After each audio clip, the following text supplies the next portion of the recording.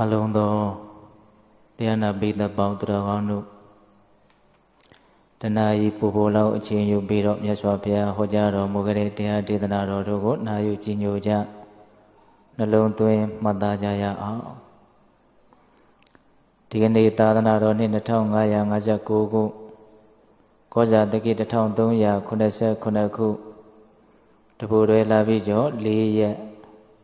2016ခုနှစ်လပိုင်း29ရက်စနေနေ့ညချမ်းခါကာလမှာရန်ကုန်တိုင်းဒေသကြီး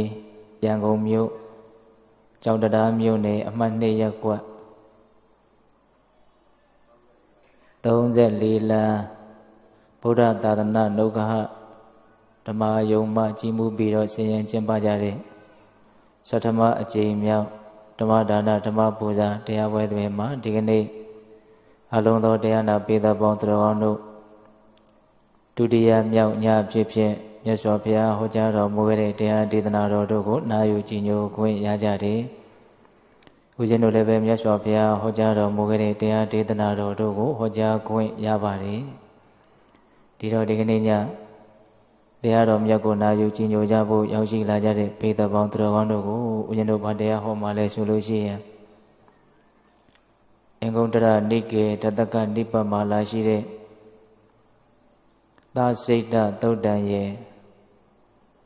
950ဇာတကနိပတ်တော်မှာလာရှိတဲ့ပါဏိယဇတ်တော်ရဲ့အဲ့ဒီတရားဒေသနာတော်တွေကိုအခြေခံပြီးတော့ ကိုယ်စိတ်ကိုစစ်ဆေးပါလို့တရားကောင်းစဉ်လေးပေးပြီးတော့ပေတပေါင်းသူတော်ကောင်းတို့ကိုအရင်တို့ဟောပါမယ်နော်ကိုယ်စိတ်ကိုစစ်ဆေးပါတဲ့မြတ်စွာဘုရားကသူတော်ဘာတို့ရဲ့စိတ်ဖြစ်ပုံကိုလိမ္မာကျွမ်းကျင်မှု မရှိဘူးဆိုရင်မိမိရဲ့စိတ်ဖြစ်ပုံကိုလိမ္မာကျွမ်းကျင်အောင်ကြိုးစားရမေလို့အဲ့ဒါလိုဟောပါတယ်မိမိရဲ့အတွင်းတဏ္ဍာမှာကောင်းတဲ့စိတ်တွေဖြစ်နေလားဆိုးတဲ့စိတ်တွေဖြစ်နေလား ယုံညံ့တဲ့စိတ်တွေဖြစ်နေလားမြင့်မြတ်တဲ့စိတ်တွေဖြစ်နေလားဆိုတာကိုစီစစ်ရမယ်ဝေဖန်ရမယ်အဲ့ဒါလို့ကိုယ်စိတ်ကိုကိုကိုယ်တိုင်ပြန်လဲပြီးတော့စစ်ဆေးခြင်းဟာစဉ်းစားဆင်ခြင်ခြင်းဟာကုသိုလ်ကောင်းမှုတွေတိုးပွားရေးကိစ္စမှာအလွန်တရာမှအကျိုးကျေးဇူးများတယ်လို့မြတ်စွာဘုရားဟောပါတယ်အဲ့ဒါဦးဇင်းတို့ပိသက်ပေါင်းတော်ကောင်းတို့ကုသိုလ်ကောင်းမှုတို့ဖြင့်တိုးတက်ကြီးပွားဖို့အတွက်များစွာအကြောင်းထောက်ပံ့များစွာအကျိုးကျေးဇူးများတဲ့ မိမိတို့ရဲ့စိတ်ကိုမိမိတို့ကိုယ်တိုင်စစ်ဆေးဖို့ဘယ်ပုံပဲနည်းစစ်ဆေးမလဲဆိုတာလေးကိုမြတ်စွာဘုရားသင်ပြထားတဲ့ဒီတရားဒေသနာတွေကိုအခြေခံပြီးတော့မိမိတို့ရဲ့စိတ်ကိုကောင်းမွန်တဲ့စိတ်ကလေးတွေဖြစ်အောင်မြင့်မြတ်တဲ့စိတ်ကလေးတွေဖြစ်အောင်ကုသိုလ်ကောင်းမှုတွေတိုးပွားလာအောင်ကြိုးစားမယ်ဆိုတဲ့ရည်ရွယ်ချက်ကလေးနဲ့ဒီတရားဒေသနာတော်မြတ်ကိုနာယူကြည်ညိုကြည့်ကြမယ်နော် ဒီတရားဒေသနာတော်ကိုမဟောကြားသေးခင်မနာကြသေးခင်မှာတရားတော်အလုံးကိုဟောကြားတော်မူခဲ့တဲ့ဘုရားရှင်ကိုတော်မြတ်ရဲ့အင်မတန်အေးချမ်းကြည်လင်တော်မူတဲ့မဟာကရုဏာကိုသိစရာတရားလုံးစုံကိုသိတော်မူမြင်တော်မူတဲ့သဗ္ဗညုတဉာဏ်ဒီဟုသောပညာကို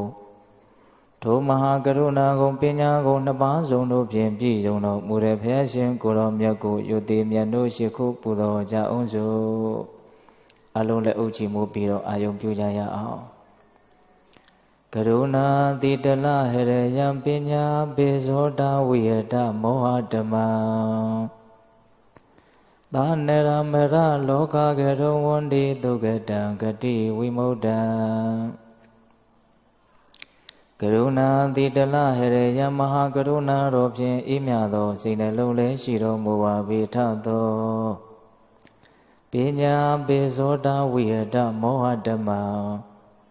အရဟတမတိဟုသောအယံဝလင်းဖြင့်ဝိဇာတိဟုသော မိုက်မောင်ကိုဖယ်ခွာတော်မူပြီးထသော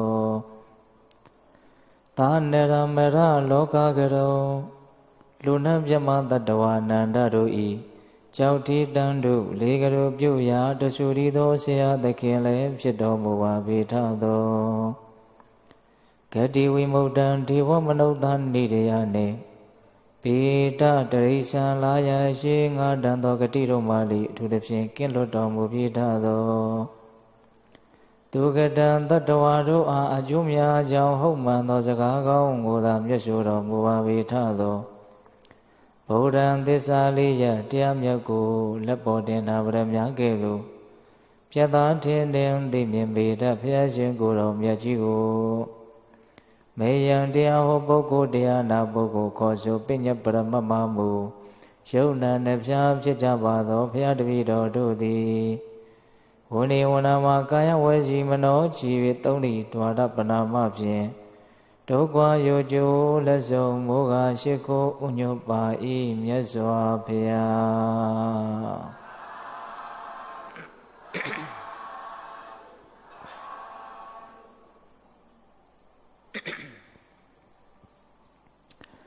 ကိုယ်စိတ်ကိုစစ်ဆေးပါတဲ့စတင်ပြီးတော့နာယူကြည်ညိုကြည့်ကြရအောင်เนาะဦးဇင်းတို့ဘယ်ကနေစတင်ပြီးတော့ပြောခြင်းတော့ဆိုတော့အင်္ဂုတ္တပါဠိတော်တတကနိပတ်ထဲမှာသစိတ်တသုတ်တံဆိုပြီးတော့မြတ်စွာဘုရားဟောတော်မူခဲ့တဲ့တရားဒေသနာတစ်ပုဒ်ရှိပါတယ်အဲ့ဒီတရားဒေသနာကနေစပြီးတော့ပြောကြည့်ရအောင်နောစေဘိကဝေဘိက္ခုနော ပရာစိတပရိယာဒါယကုသလောဟောတိအထာသစိတပရိယာယကုသလောဘိတာမိယဟန်တို့တဲ့သူတစ်ပါးတို့ရဲ့စိတ်ဖြစ်ပုံကိုလိမ္မာကျွမ်းကျင်မှုမရှိဘူးဆိုလို့ရှိရဲ့မိမိရဲ့စိတ်ဖြစ်ပုံကိုလိမ္မာကျွမ်းကျင်အောင်ကြိုးစားရမေးတဲ့တရားဓမ္မတို့ဦးဇင်းတို့တွေ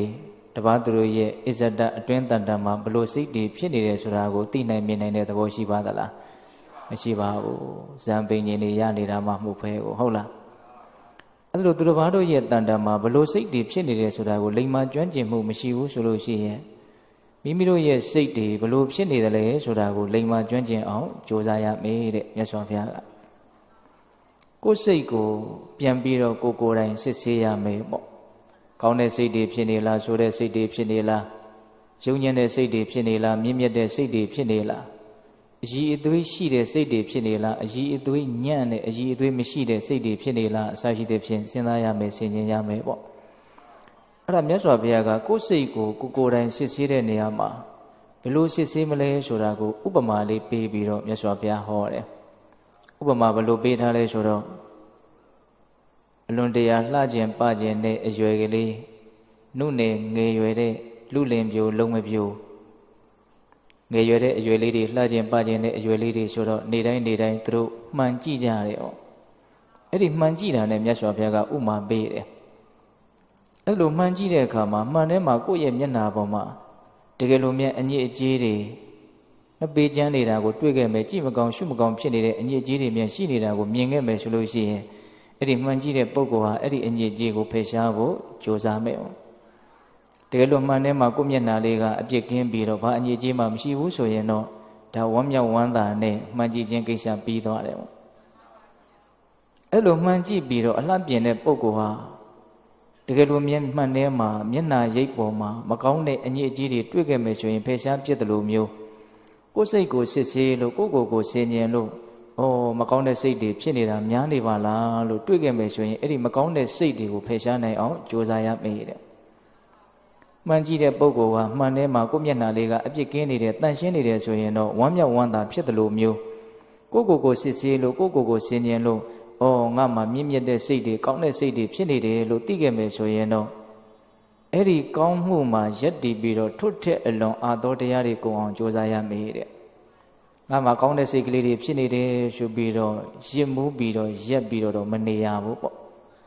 အဲ့ဒီကောင်းမှုမှာယက်တည်ပြီးတော့ ထွတ်ထက်အလွန်ကောင်းတဲ့ထက်ကောင်းအောင်ကြိုးစားရမယ်ဘလောက်ထိကောင်းအောင်ရည်ရွယ်ချက်ထားပြီးတော့ကြိုးစားရမှာလဲဆိုရင်မြတ်စွာဘုရားကအသောတရားကုန်ခန်းသည့်အထိကြိုးစားရမယ်လို့အဲ့လိုဟောအဲ့တော့ဒီနေရာမှာပိဋကပေါင်းတော်ကောင်းတို့ကိုကိုကိုစဉ်းစားဆင်ခြင်ခြင်းကိုစိတ်ကိုစစ်ဆေးခြင်းသည်ကုသိုလ်ကောင်းမှုတို့တိုးပွားရေးကိစ္စမှာအလွန်တရာမှအကျိုးကျေးဇူးများတယ်လို့မြတ်စွာဘုရားအဲ့ဒီသုတ်တန်ထဲမှာထည့်ပြီးတော့ဟောတယ်ပိစဝခဏဘဟုကာရာကုတလေတုဓမေတု ကိုကိုကိုစစ်ဆေးခြင်းစဉ်းစားခြင်းဆင်ခြင်ခြင်းသည်ကုသိုလ်ကောင်းမှုတိုးပွားရေးကိစ္စမှာအလွန်တရာမှအကျိုးကျေးဇူးများတယ်တဲ့အဲ့ဒါမြတ်စွာဘုရားကဒီတုတ်တန်ထဲမှာကိုယ်စိတ်ကိုဘလို့စစ်ဆေးမလဲဆိုတာလေးကိုသင်ပြပေးထားတယ်ပေါ့ကိုယ်စိတ်ကိုစစ်ဆေးတဲ့နေရာမှာမြတ်စွာဘုရားကမကောင်းတဲ့စိတ်တွေဖြစ်နေလားကောင်းတဲ့စိတ်တွေဖြစ်နေလားဆိုတာနဲ့ပတ်သက်ပြီးတော့မကောင်းတဲ့စိတ်တွေကို10မျိုးလောက်နာမည်လေးတွေတက်ပြီးတော့ဟောထားတယ် ကောင်းတဲ့စိတ်ကောင်းတဲ့အခြေအနေတွေကိုလည်းပဲ10မျိုးလောက်နာမည်လေးတွေတက်ပြီးတော့ပြောထားတယ်စန့်ကျင်ဘက်အတွဲ10တွဲပေါ့မကောင်းတဲ့တရား10မျိုးကောင်းတဲ့တရား10မျိုးအဲ့ဒါကိုပိဋကပေါင်းတော်တော်ဒီကနေ့ညဦးစားပေးပြီးတော့မှတ်သားရမယ်ပေါ့နော်ဟောဒီနေ့တရားကဟောစဉ်းစားဆင်ခြင်စရာတွေများတဲ့အတွက်ကြောင့်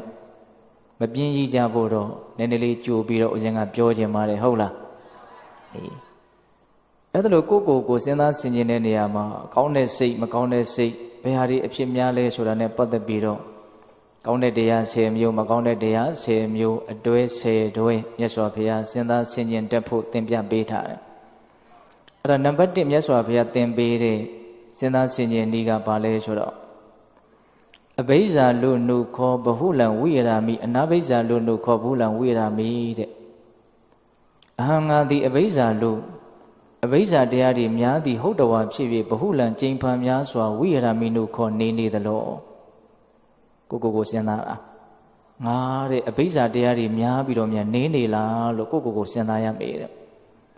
ဓမ္မမဟုတ်အနာဘိဇာလုနုခောဘဟုလံဝိရမိအဘိဇ္ဇာတရားတွေမများဘဲနဲ့ဘဟုလံကြိမ်ဖန်များစွာဝိရမိနုခေါ်ငါနေနေသလားဒီလိုလဲစဉ်းစားရမယ်။တော့ဒီနေရာမှာအဘိဇ္ဇာဆိုတာဘာလဲအဘိဇ္ဇာဆိုတာတရားကိုကောက်ရင်တော့လောဘပေါ့နော်။ လောဘဆိုတဲ့နေရာမှာသူကအလွန်ပြင်းထန်တဲ့ဆိုးဝါးတဲ့မကောင်းတဲ့လောဘလောဘကလည်းအဆင့်အမျိုးမျိုးရှိတယ်။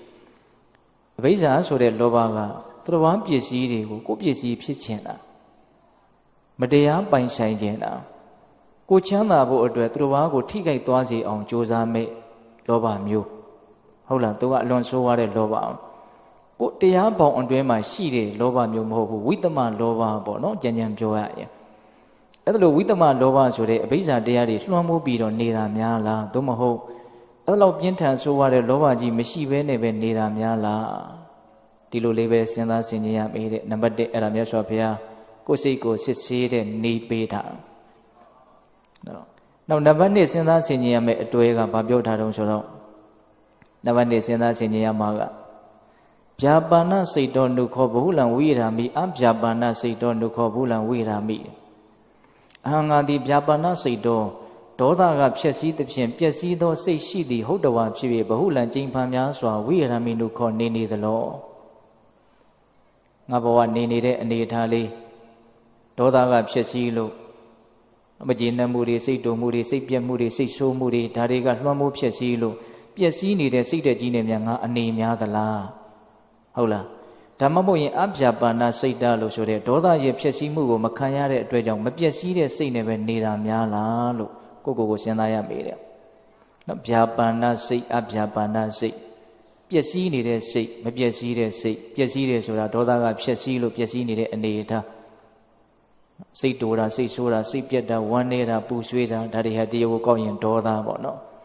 အဲ့လိုဒေါသတွေလွှမ်းမိုးပြီးတော့ပဲနေနေတာများသလားသို့မဟုတ်ဒေါသမလွှမ်းမိုးဘဲနဲ့နေနေတာများလားလို့ဒုတိယအချက်စဉ်းစားဆင်ခြင်ရမယ်နှစ်တွဲရှိသွားပြီနော်နောက်တတိယအတွေ့ကြတော့မြတ်စွာဘုရားဘယ်လိုဟောပြထားတော့ထိနမိတ်တပရိယုတ်ထိတော်နုခောဘဟုလံဝိရာမိဝိကတော်ထိနမိတ်တော်နုခောဘဟုလံဝိရာမိတဲ့အဟံငါသည်ထိနမိတ်တပရိယုတ်ထိတော် ထိနမိတ်တတွေလွှမ်းမိုးပြီးတော့ဘဟုလံကြိမ်ဖန်များစွာဝိရာမိနုခောနေနေသလောဓမ္မမဟုတ်ဝိကတော်ထိနမိတ်တော်ထိနမိတ်တကင်းပြီးတော့ဘဟုလံကြိမ်ဖန်များစွာဝိရာမိနုခောနေနေသလောပုဂ္ဂိုလ်ကိုစဉ်းစားတာထိနမိတ်တာတွေလွှမ်းမိုးဖိစီးပြီးတော့ခံပြီးတော့မြန်နေနေသလားဒါမှမဟုတ်ထိနမိတ်တာကင်းပြီးတော့ပဲနေနေသလားလို့စဉ်းစားရမေးတဲ့ထိနမိတ်တာဆိုတဲ့စကားလုံးလေးကိုပေးတဲ့ပေါင်းသူတော်ကောင်းတို့ အတိဘယ်ကိုလိမ္မာကျွမ်းကျင်ပြီးသားဖြစ်မယ်လို့ထင်ပါတယ်သူကဗမာစကားလုံးတို့တောင်ဖြစ်နေပါပြီဟုတ်လားထိနမိတ်တာဆိုတာထိုင်မိုင်းပြင်းရည်ခြင်းလူငယ်တွေနားလဲအောင်ပြောရမယ်ဆိုတော့အိတ်ချင်ငိုက်မြည်ခြင်းဟုတ်လားသူဟာလည်းပဲကုသိုလ်ကောင်းမှုတို့တိုးပွားရေးကိစ္စမှာအလွန်တရာမှအနှောက်အယှက်ပေးတဲ့တရားအောင်အမှန်တရားကိုမသိအောင်မမြင်အောင်ပြင်းထန်စွာဖုံးကွယ်နိုင်စွမ်းရှိတဲ့အတွက်ကြောင့်သူ့ကိုနိဝရဏတရား၅ပါးထဲမှာတပါးအနေနဲ့လည်းထည့်ထားတယ်ဌိနမိတ်တ နော်အိတ်ချင်ငိုက်မြည်တဲ့သဘောအိတ်သွားပြီဆိုရင်တော့အဲ့ဒါမြတ်စွာဘုရားကဘဝရဲ့မြုံနေတဲ့အချိန်လို့တောင်ဟောတယ်ဘာအကျိုးကျေးဇူးမှမဖြစ်ထွန်းတဲ့အနေအထားဟုတ်လားအဲ့ဒါအိတ်ချင်ငိုင်းမြည်တဲ့သဘောထိုင်းမိုင်းပြင်းပြီးတော့ကြည်ကြည်လင်းလင်းမရှိဘူးရှိတယ်နောက်ကျပြီးတော့နေတယ်ဒါဟာအလွန်တရာမှကုသိုလ်ကောင်းမှုတိုးပွားရေးကိစ္စမှာအဟံတမ်းဖြစ်တဲ့ကိစ္စနော်ဒါကိုမြတ်စွာဘုရားက ထိနာမိတ်တာတွေလွှမ်းမိုးပြီးတော့နေတာများလားသို့မဟုတ်အဲ့ဒါလိုမလွှမ်းမိုးပဲနေမြန်နေတာများလားလို့ကိုယ်စိတ်ကိုစစ်ဆေးရမယ်တဲ့သုံးတွဲရှိသွားတယ်နော်နောက်လေးခုမြောက်အတွေ့ကြတော့ဘာပြောတော့ဥဒ္ဓတော်နုခောဘဟုလံဝိရာမိအနုဒ္ဓတော်နုခောဘဟုလံဝိရာမိအာငါသည်ဥဒ္ဓတော်ပြန့်လွင့်သည်ဟုတ်တော်ဖြစ်၍ဘဟုလံကျိန်ဖန်များစွာဝိရာမိနုခောနေနေသလော ငါစိတ်ဒီတောင်တွေးမြောက်တွေးနဲ့ထိတ်မရသိမ့်မရပြန့်လွင့်ပြီးတော့ပဲနေတာများလားလို့စစ်ဆေးရမေးတဲ့ဓမ္မမဟုတ်အနုဒ္ဓတော်နုခောဘဟုလံဝိရာမိငါစိတ်ဒီပြန့်လွင့်မှုမရှိဘဲနဲ့နော်စူစည်းလို့ရတဲ့အနေအထားမျိုးနဲ့နေနေတာများလားလို့ဒီလိုလည်းပဲစဉ်းစားရမေးတယ်ဥဒိစ္စလို့အပြောများတယ်အသုံးများတယ်ဒီမှာတော့မြတ်စွာဘုရားကဥဒ္ဓတော်အနုဒ္ဓတော်လို့အဲ့လိုလေးဟောတယ်နော်အာယုံတစ်ခုတည်းကိုမရက်တည်နိုင်မဲနဲ့စိတ်ကတောင်းတောင်းအီအီကြံစီစဉ်းစားတာ တောင်းတွေးမြောက်တွေးဖြစ်နိုင်တာတွေရောမဖြစ်နိုင်တာတွေရောဖြစ်ခဲ့တာတွေရောမဖြစ်သေးတာတွေရောများသောဖြင့်တော့ဖြစ်ချင်တာတွေရောမဖြစ်ချင်တာတွေရောဒါတွေတွေးကြမယ်ပေါ့ကိုယ့်ကိုယ်ဘာတွေတွေးလို့တွေးနေမှလည်းမသိဘူးပြာပုံနုနုကိုခဲနဲ့ထုလိုက်တဲ့အခါမှာပြာကလေးတွေကအနှုလေးတွေဆိုတော့လေထဲကိုလွင့်မျောပြီးတော့သွားအဲ့လိုပဲစိတ်ကစုပ်ကင်လို့မရဘူးစုစည်းလို့မရဘူးတွေးချင်တာတွေတွေးနေတာဟုတ်လားအဲ့ဒီလိုအနေအထားမျိုးဟာလည်းပဲ နော်အစ်စ်မမြင့်တဲ့အနေအထားမျိုးမကောင်းဘူးပေါ့အဲ့ဒါမြတ်စွာဘုရားကအဲ့ဒါလိုပြန့်လွင့်ပြီးတော့နေတာများလားမပြန့်လွင့်မဲနေတာများလားလို့ကိုကိုကိုစစ်ဆေးရမယ်လေးတွဲရှိသွားတယ်နော်နောက်၅ခုမြောက်အတွေ့ကြတော့မြတ်စွာဘုရားဘာပြောတော့ဝိရှိကိစ္စနုခောဘဟုလံဝိရာမိတိဏဝိရှိကိစ္စနုခောဘဟုလံဝိရာမိအာငါတိဝိရှိကိစ္စနုခောဝိရှိကိစ္စတရားတွေလွှမ်းမိုးပြီးတော့ဘဟုလံကျိန်ဖန်များစွာဝိရာမိနုခောနေနေသလော ဓမ္မမဟုတ်တိဏဝိရှိကိစ္စဝိရှိကိစ္စတရားကိုလွန်မြောက်ပြီးတော့ဘဟုလံကျိန်ဖန်များစွာဝိရာမိနုခောနေနေသလောဝိရှိကိစ္စတရားတွေလွှမ်းမိုးပြီးကြီးတာကိုခံပြီးတော့ပဲနေနေတာများလားဒါမှမဟုတ်ဝိရှိကိစ္စတရားကိုကြော်လွှမ်းပြီးတော့နေနေတာများလားလို့ကိုကိုကိုရှင်းရှင်းရမယ်ဝိရှိကိစ္စဆိုတာပေတတို့အလုံးနားလေကြပြီးသားပါဟုတ်လားယုံမှားတန်တရားယတနာမြတ်သုံးပါးနဲ့ပတ်သက်ပြီးတော့စိတ်ထဲမှာမှန်မှန်ကန်ကန်ဆုံးဖြတ်ချက်မချနိုင်ဘူး ဒါတွေကဟုတ်မြန်ဟုတ်လေသလားမဟုတ်မြန်မဟုတ်ဘူးလေလားရှေ့တိုးရမလို့လို့နောက်ဆိုရမလို့လို့နဲ့သို့လို့သို့လို့တွေးတိုးပြီးတော့တန်တရားရဲ့နှိမ့်ဆက်တာကိုအလိုလဲခံရတဲ့သဘောကိုဘာလို့ခေါ်တော့ဝိရှိကိစ္စသူတော်ကောင်းတရားနဲ့ပတ်သက်ပြီးတော့အကျင့်လန်းစဉ်တွေနဲ့ပတ်သက်ပြီးတော့ဒါတွေကိုကျင့်ရင်ချမ်းသာတယ်ဆိုတာဟုတ်မှဟုတ်ပါလိမ့်မလားဒီလိုပြောခဲ့တာတွေကဘယ်တော့မှဘယ်သူကပြောခဲ့တာတော့ဘလို့အထောက်ထားရှိတာတော့အစရှိသဖြင့်အမျိုးမျိုးတန်တရားတွေဝင်ပြီးတော့အလုံးမဖြစ်ဘူးပေါ့ အဲ့ဒီဝိသိကိစ္စကိုမြတ်စွာဘုရားကတချို့ဒေသနာတွေမှာလမ်းနှစ်ခွလို့လည်းပဲဥပမာပေးပြီးတော့ဟောတယ်ဘုရင်တို့ဥစ္စာပစ္စည်းတွေယတနာပစ္စည်းတွေအဖို့တန်တွေအများကြီးပါလာတဲ့ဂုံတွေတယောက်တည်င်းကြလို့နောက်ကခိုးသားတွေမြတွေကလည်းလိုက်ပြီးတော့လူမယ်ရက်မယ်နှိမ့်ဆက်မယ်ဆိုပြီးတော့လိုက်လာတယ်အဲ့ဒါရှေ့ကနေပြီးတော့ခိုးသားတွေမြတွေလိုက်လာတာကိုသိတဲ့အတွက်ကြောင့်နော်အတင်းလွတ်အောင်ပြေးနေတဲ့ယတနာပစ္စည်းတွေပါတဲ့ကုံသေး အပြေးရင်လွှားရင်နဲ့ဘွားဆိုလမ်းကြီးကနှစ်ခွဖြစ်နေတယ်တဲ့ဟောတွေ့တယ်ဘယ်ပဲတလန်းညာပဲတလန်းလက်ဝဲပဲလိုက်မလားလက်ရပဲလိုက်မလားမဝေခွဲနိုင်ဘူးမဆုံးဖြတ်နိုင်ဘူးရက်ပြီးတော့တန်တရားလမ်းစုံမှာတွေးပြီးတော့ကြည်နေငေးနေတာဟုတ်လားသေကြတယ်နောက်ကခိုးသားဓမြတွေမိလာပြီးတော့ဒုက္ခပေးတာကိုခံရလိမ့်မယ်အဲ့ဒါလိုမျိုးဝိသိကိစ္စတရားကိုမြတ်စွာဘုရားဥမာပေးတယ် မှန်မှန်ကန်ကန်ဆုံးဖြတ်ချက်မချနိုင်မဲနဲ့တတ်တတ်မဲ့ကိုယ့်ရဲ့စိတ်နှလုံးကိုပင်ပန်းအောင်နှိမ့်ဆက်နေရရောက်တယ်ပေါ့ဒါကလည်းပဲကိုကိုယ်တိုင်ကဉာဏ်ပညာအားနည်းမယ်ဉာဏ်ပညာအားကြီးတဲ့ပုဂ္ဂိုလ်တွေရဲ့တန်တာမှာပုဂ္ဂိုလ်တွေရဲ့တန်ကိုမိဝဲစိကမှုမရှိဘူးမင်းမြန်းစုံစမ်းမှုမရှိဘူးဆိုရင်တော့ဝိသိကိစ္စတရားတွေကဖြစ်လာတတ်တယ်ပေါ့အဲ့ဒါလိုဝိသိကိစ္စတရားတွေလွှမ်းမိုးပြီးတော့နေတာများလားဒါမှမဟုတ်ဝိသိကိစ္စတရားကိုကြော်လွှမ်းနိုင်အောင်ကြိုးစားပြီးတော့ တည်တဲ့တက်တဲ့မြင်တဲ့ပုဂ္ဂိုလ်တွေကိုမေးမြန်းပြီးတော့ကိုကိုယ်တိုင်လည်းယောနိတော်မနိတိကာရ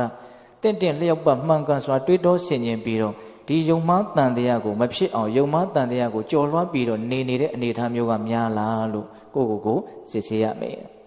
ဘယ်နဲ့တွဲရှိသွားငါးတွဲရှိသွားပြီပြန်ပြီးတော့မပြောဘူးเนาะခုခေတ်တရားဟောရတာကတမျိုးတော့အစဉ်ပြေတယ်ဘာလို့လဲဆိုရိုက်ကူးရေးတွေရှိတော့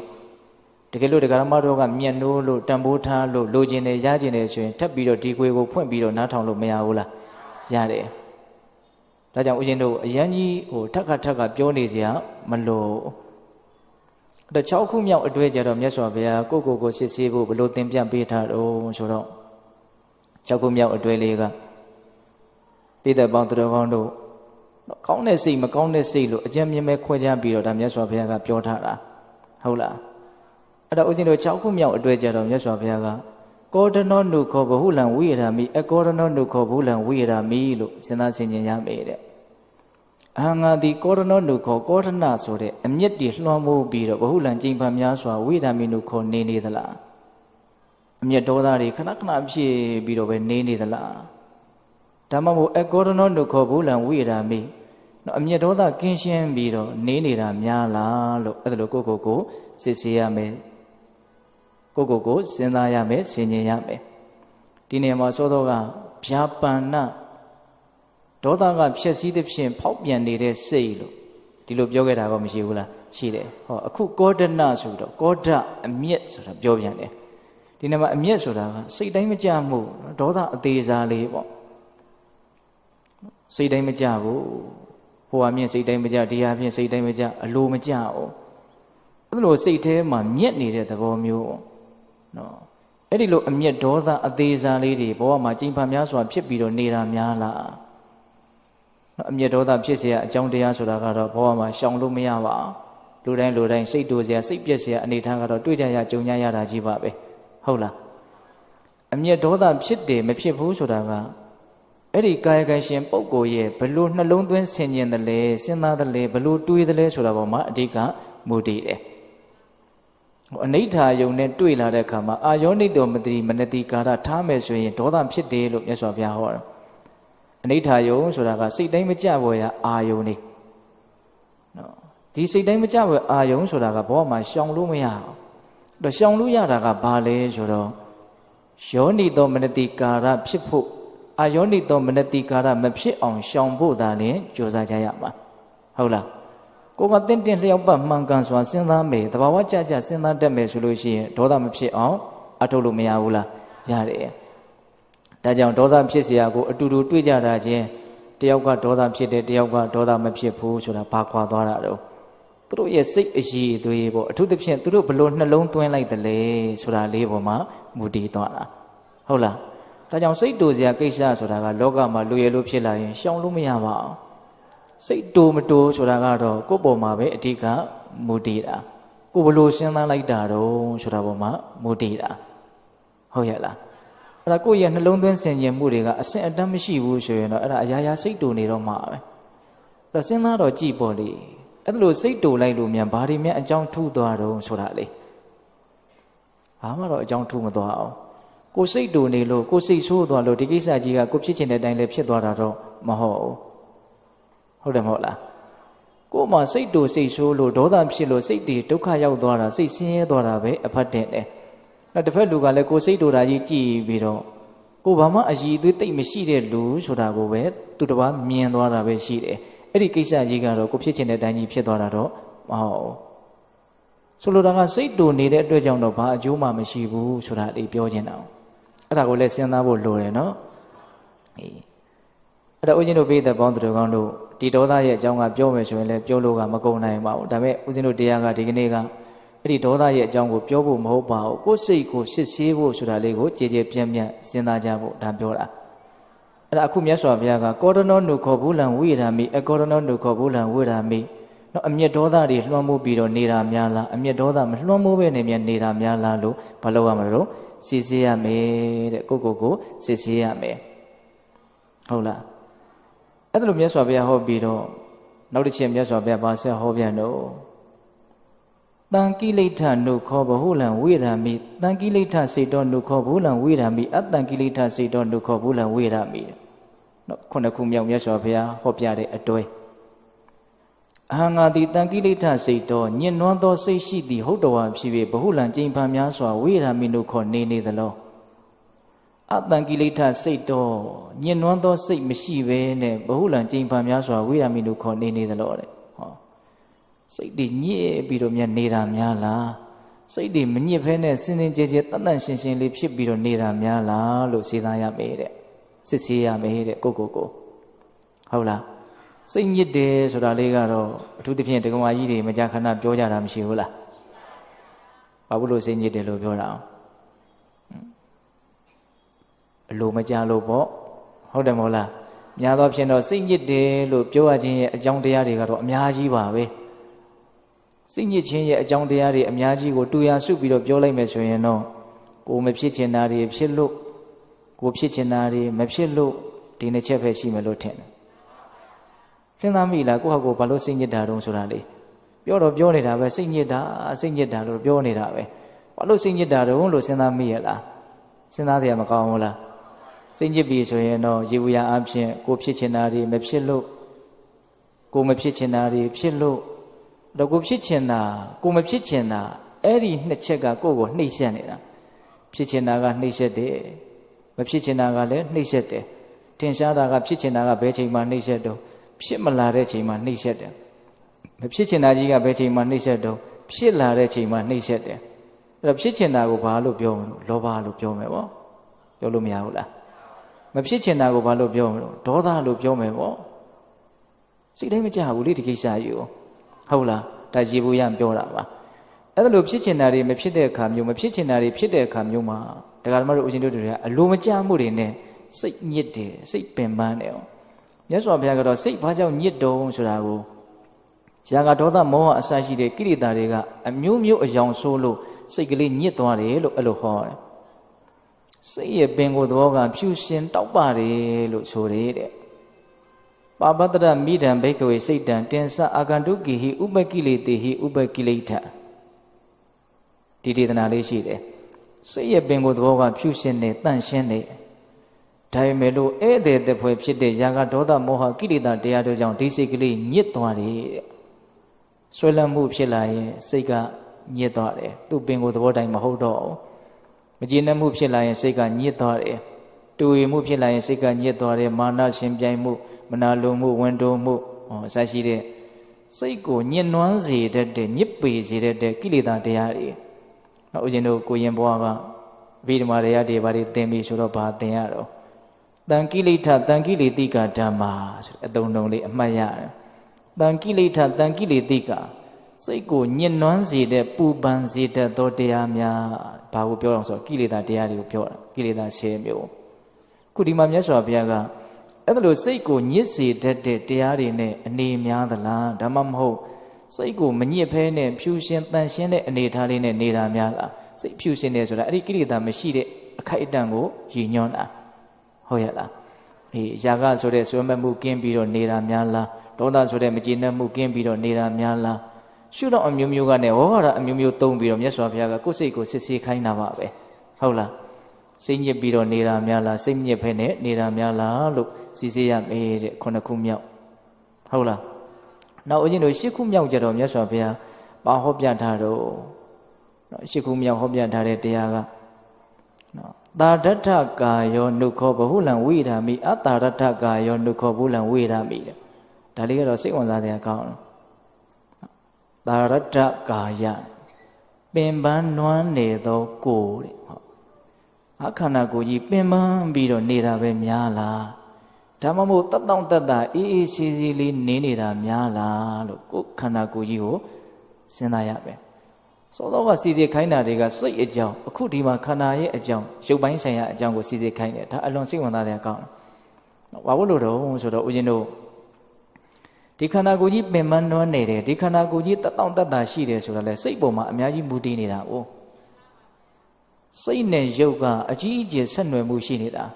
ဒီရုပ်ကိုပဲဒီစိတ်ကအမိပြုတ်ပြီးတော့ဖြစ်နေတယ်လို့ဒီစိတ်ရဲ့လွှမ်းမိုးမှုကိုပဲဒီရုပ်ကအကြီးအကျယ်ခံနေရတာကိုမရှိဘူးလား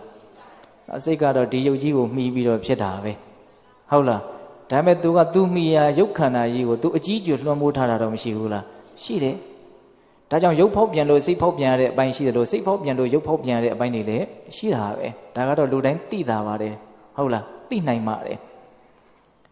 အဲ့တော့ဦးဇင်းတို့ပြည်သက်ပေါင်းတော်စိတ်ထောင်းကိုကြည်စိတ်ပြိုကိုနှုဆိုပြီးတော့တောင်ပြောကြတာ哦စိတ်ပေါ်မှာဒီခန္ဓာကိုယ်ကြီးရဲ့တတ်တာမှုမတတ်တာမှုဟာအများကြီးမိတီးနေတယ်တော့ဒီရုပ်ကိုပင်မအောင်နော်နှိပ်စက်နိုင်တဲ့စိတ်တွေဆိုတာရှိတယ်စောတော့ကလောဘဒေါသမောဟတွေပါပဲဟုတ်လား အဲ့ဒါလိုလောဘဒေါသမောဟတွေနဲ့တင်းတင်းကြပ်ကြပ်ကြီးနေမယ်ဆိုရင်စိတ်ဒီရုပ်ကအလွန်မှပင်ပန်းတယ်မသက်သာအောင်အဲ့လိုပင်ပန်းမှုတွေမသက်သာမှုတွေနွမ်းနွမ်းနယ်မှုတွေနဲ့နောက်ကျမှုတွေနဲ့မြန်နေနေရတာများသလားကိုယ့်ကိုစဉ်းစားအောင်ပင်ပန်းမှုမရှိဘဲနဲ့တတ်တတ်တာတာလေးနော်ငြိမ်ငြိမ်အေးအေးလေးရုပ်ကလေးလေးတတ်တောင့်တတ်တာလေးကြည်ကြည်လင်လင်လေးဒီလိုလေးနေနေရတာများလားလို့ကိုယ့်ကိုစဉ်းစားရမယ်ဘုရင်တို့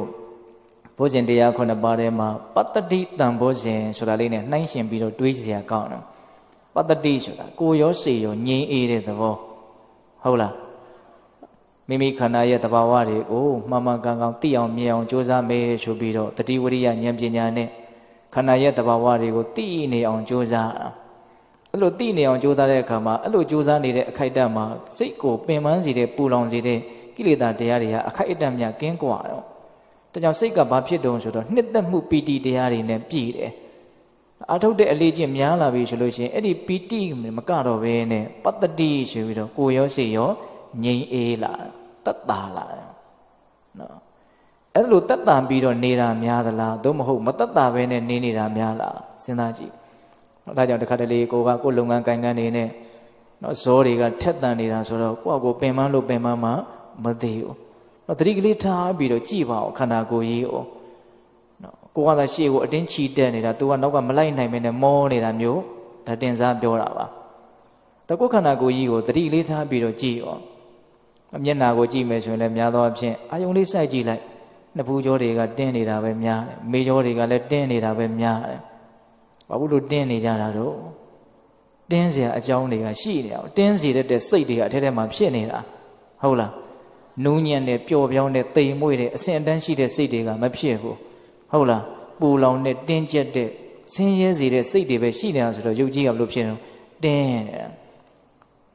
တကူလုံးကြည့်လိုက်ရင်ရော့ပြီးတော့တက်တောင့်တက်တာဖြစ်နေတဲ့အနေအထားကတာမန်အချိန်မှာသိပြီးတော့မရှိဘူးဟုတ်လားအဲ့တော့အမြန်အမှန်ကကိုယ်ခန္ဓာကိုယ်ရဲ့ပုံမှာသတိထားပြီးတော့နေတဲ့ပုံကူများတာလေရဲ့ခန္ဓာကိုယ်ကိုနုံနုံညံ့ညံ့တိမ်တိမ်မွေ့မွေ့တတ်တောင့်တတ်တာဖြစ်အောင်နေနိုင်တာ ဒါကလူငယ်တွေအတွက်ဦးဇင်းတို့ရည်ရွယ်ပြောတာပါဟုတ်လားဒါကြောင့်မြတ်စွာဘုရားကတာရထကာယပင်မနှောနေတဲ့ကိုကြီးနဲ့မြန်နေနေတာများလားအလုတ်ချမ်းတွေလိုရတာကိုရည်ရွယ်ပြောတာမဟုတ်ဘူးနော်ဟုတ်လားနော်တက်တာတဲ့ခန္ဓာကိုယ်နဲ့မြန်နေနေရတာများလားလို့စဉ်းစားရမယ်တခါတလေကလေးထိုင်ပေါ်မှာအလုံးမပင်ပင်ပန်းပန်းမလို့ရဘဲနဲ့ဖောင်တိန်လေးတစ်ချောင်းကင်ပြီးတော့ဇောကျွေးပြန်နေတဲ့အနေအထားမျိုးတွေမရှိနိုင်ဘူးလားမြင်ရတာတော့တက်တာလေလို့ထင်ရတယ်ဒါပေမဲ့တကယ်တကယ်ဒုက္ခနာကိုကြီးကတက်တာလား မတက်တာအောင်စဉ်းစားနော်ဘာလို့မတက်တာလားတော့ဘာလို့တက်တာလားတော့ဒါစဉ်းစားဖို့မလိုဘူးလားလို့လေအဲ့ဒါမြတ်စွာဘုရားကအဲ့ဒါကိုပါစီစစ်ခိုင်းတာစဉ်းစားခိုင်းတာဆင်ញင်ခိုင်းတာနော်ဘယ်နှခုရှိသွားပြီတော့၈ခုမြောက်ရှိသွားပြီနော်နောက်၉ခုမြောက်အတွဲကြတော့မြတ်စွာဘုရားဘာဟောပြတော့ကောတိဇောနုခောဘဟုလံဝိရာမိအာရထဝိရိယောနုခောဘဟုလံဝိရာမိ အဟံငါသည်ကောတိဇောပြင်းရည်သည်ဟုတ်တော်ဝါဖြစ်၍ဘဟုလံကျိန်ဖန်များစွာဝိရာမိနုခောနေနေသလားပြင်းပြင်းရည်ရည်ကြီးကောင်းတာတွေဖြစ်ဖို့မကြိုးစားဘဲနဲ့မကောင်းတာတွေမဖြစ်ဖို့မကြိုးစားဘဲနဲ့ကောင်းတာတွေဖြစ်ဖို့မကြိုးစားဘဲနဲ့မကောင်းတာတွေမဖြစ်ဖို့မကြိုးစားဘဲနဲ့တေချာနာထောင်နော်ကောင်းမွန်တဲ့ကြိုးစားမှုဆိုတာမကောင်းတာတွေမဖြစ်အောင်ကြိုးစားတာကောင်းတာတွေဖြစ်အောင်ကြိုးစားတာဒါကောင်းမွန်တဲ့ကြိုးစားမှု အဲ့ဒီကောင်းမွန်တဲ့ကြိုးစားမှုမရှိဘူးဆိုရင်အဲ့ဒီအချိန်မှာအဲ့ဒါပြင်းရည်နေတယ်လို့ရသော်ဘုရားကကောသစ္စာဆိုတဲ့အသုံးနှုန်းလေးသုံးနှုန်းပြီးတော့ဟောအဲ့ဒါလိုမြန်နေနေတာများလားတဲ့ဒါမှမဟုတ်အာရထဝရိယဆိုတဲ့ထက်တန်တဲ့လုံလဝရိယနဲ့ကြိုးစားပြီးတော့နေတာများလားအရထဝရိယဆိုတာအကျေတဝန်ပြောရမယ်ဆိုရင်တမ္ပပဒံလုံလဝရိယကိုပြောတာဖြစ်ပြီးဖြစ်စေအကုသိုလ်တရားတွေကိုရက်တတ်နိုင်အောင်ဖယ်ရှားနိုင်အောင်ငါကြိုးစားမယ်ဆိုတဲ့ဝရိယမျိုး မဖြစ်သေးတဲ့အကုသိုလ်တရားတွေကိုငါဖြစ်ပေါ်ခွင့်မပေးဘူးဆိုပြီးတော့ကြိုးစားတဲ့ဝရိယမျိုးမဖြစ်သေးတဲ့ကုသိုလ်တရားတွေကိုဖြစ်အောင်ကြိုးစားမယ်ဆိုတဲ့ဝရိယမျိုးဖြစ်ပြီးဖြစ်စေကုသိုလ်တရားတွေကိုတိုးတက်ခိုင်မြဲအောင်ကြိုးစားမယ်ဆိုတဲ့ဝရိယမျိုးအနှစ်ချုပ်မယ်ဆိုရင်တော့မကောင်းတာမဖြစ်အောင် ကောင်းတာဖြစ်အောင်ကြိုးစားတဲ့ဝရိယမျိုးအဲ့ဒီဝရိယကိုပြီးတော့ဦးဇင်းတို့ဒီတုတ်တန်ထဲမှာထည့်ပြီးတော့မြတ်စွာဘုရားဟောထားတယ်အဲ့ဒီကြမှာအကျေပြောမယ်ခုလောလောဆယ်တော့ ငါသည်မကောင်းတာမဖြစ်အောင် မကြိုးစားဘဲနဲ့ကောင်းတာတွေဖြစ်အောင်မကြိုးစားဘဲနဲ့မြန်နေနေသလားပြင်းရှိပြီးတော့မြန်နေနေသလားဟုတ်လားဓမ္မမဟုတ်မကောင်းတာတွေမဖြစ်အောင် ကောင်းတာတွေဖြစ်အောင်ထက်သန်တဲ့လုံလောက်တဲ့နဲ့ကြိုးစားပြီးတော့နေနေတာများလားလို့ကိုယ်စိတ်ကိုစစ်ဆေးရမယ်ဘယ်နှချက်ရှိပြီတော့ကိုးချက်ရှိပြီနော်မနှဲဘူးတော့မှတ်သားလာခဲ့တာနော်အားတော့မငယ်နဲ့ခွေရိုက်ထားတာရှိတယ်ဟုတ်လားမှတ်မိခြင်းပြန်ရခြင်းနားထောင်လို့မရဘူးလားရတယ် နော်အကုန်လုံးတထိုင်နဲ့မှတ်မိဖို့ကတော့ဘယ်လိုမှမဖြစ်နိုင်ပါဘူးဒါဦးဇင်းတို့လည်းနေစင်သာပြောနေရတာနော်နောက်ဦးဇင်းတို့နောက်ဆုံးဆယ်ခုမြောက်အတွဲကြတော့မြတ်စွာဘုရားပါဟောတာတော့တမဟိတောဒုက္ခဘဟုလံဝိရမိအတမဟိတောဒုက္ခဘဟုလံဝိရမိတဲ့အဟံငါတိတမဟိတောတီကြည်သောစိတ်ရှိသည်ဟုတ်တော်ဖြစ်ဖြစ်ဘဟုလံကြင်ဖန်များစွာဝိရမိနှုခောနေနေသလောငါတီတီငိမ့်ငိမ့်တီတီကြည်ကြည်တမာတီကလေးနဲ့ စိတ်ကလေးတည်ငြိမ်ပြီးတော့နေနေတာများလားလို့အဲ့လိုစဉ်းစားတယ်ဓမ္မမို့ရင်အတ္တမဟိတောဒုက္ခဘူးလံဝေရာမိဘာတည်ငြိမ်မှုမှမရှိဘဲနဲ့စိတ်ကြီးကပြောက်ပြက်ခတ်ပြီးတော့တွေးသမျှအာယုံကိုလိုက်ပြီးတော့ဟုတ်လားဘာတည်ငြိမ်မှုမှမရှိဘဲနဲ့မြန်နေနေတာများလားဒီလိုလဲပါလို့တော့စဉ်းစားရမယ်နော်တမာတိနဲ့နေတာများလားသို့မဟုတ်တမာတိမရှိဘဲနေတာများလားလို့စဉ်းစားရမယ်လို့ဆိုလိုတာတမာတိကိုဒီနေ့မှာမြတ်စွာဘုရားကတမာဟိတောလို့ဒီလိုလေးဟောတယ်ဦးဇင်းတို့ သစ္စာတန်ရုပ်ထဲမှာဒီတမာဟိတောဆိုတဲ့အသုံးလုံးလေးနဲ့ပတ်သက်ပြီးတော့ဟောထားတာလေးကိုအမှတ်ရတယ်တမာဟိတောဘိခဝေဘိက္ခုယထာဘူတံပဇာနာတိဟောအဓိပ္ပာယ်ကဘာပြောတော့တည်ငြိမ်သောစိတ်ရှိတဲ့ပုဂ္ဂိုလ်သည်မှန်မှန်ကန်ကန်သိနိုင်မြင်နိုင်နေတဲ့ဟောအနှစ်သာရအရှိဆုံးကတော့မှန်မှန်ကန်ကန်သိတဲ့မြင်တဲ့ဉာဏ်ပညာပါပဲ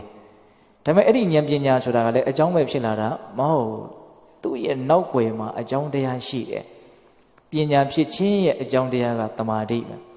စိတ်ကတည်ငြိမ်လာတယ်စုစည်းမှုရှိလာဆိုသူကအည်သွေးရှိလာတဲ့အတွက်ကြောင့်သိစရာရှိတာတွေကိုမှန်မှန်ကန်ကန်သူသိလာတယ်ဒါလေးမှတ်သားစရာအလွန်ကောင်းတယ်နော်တည်ငြိမ်သောစိတ်ဒီမှန်မှန်ကန်ကန်သိစေတယ်ဆိုတာစိတ်ကပြောင်းပြက်ခတ်နေတယ်အိမ်ဒီမယဖြစ်နေတယ်စူးစီးလို့မရဘူးဆိုရင်ဘလို့လွတ်ပြီးတော့မှအဲ့ဒီအချိန်မှာအဲ့ဒီအနေအထားမျိုးနဲ့အဲ့ဒီစိတ်ဒီအမှန်တရားကိုမသိနိုင်အောင်ဟုတ်တယ်မဟုတ်လား ဒါလောကီလိုလည်းဒီတိုင်းပဲ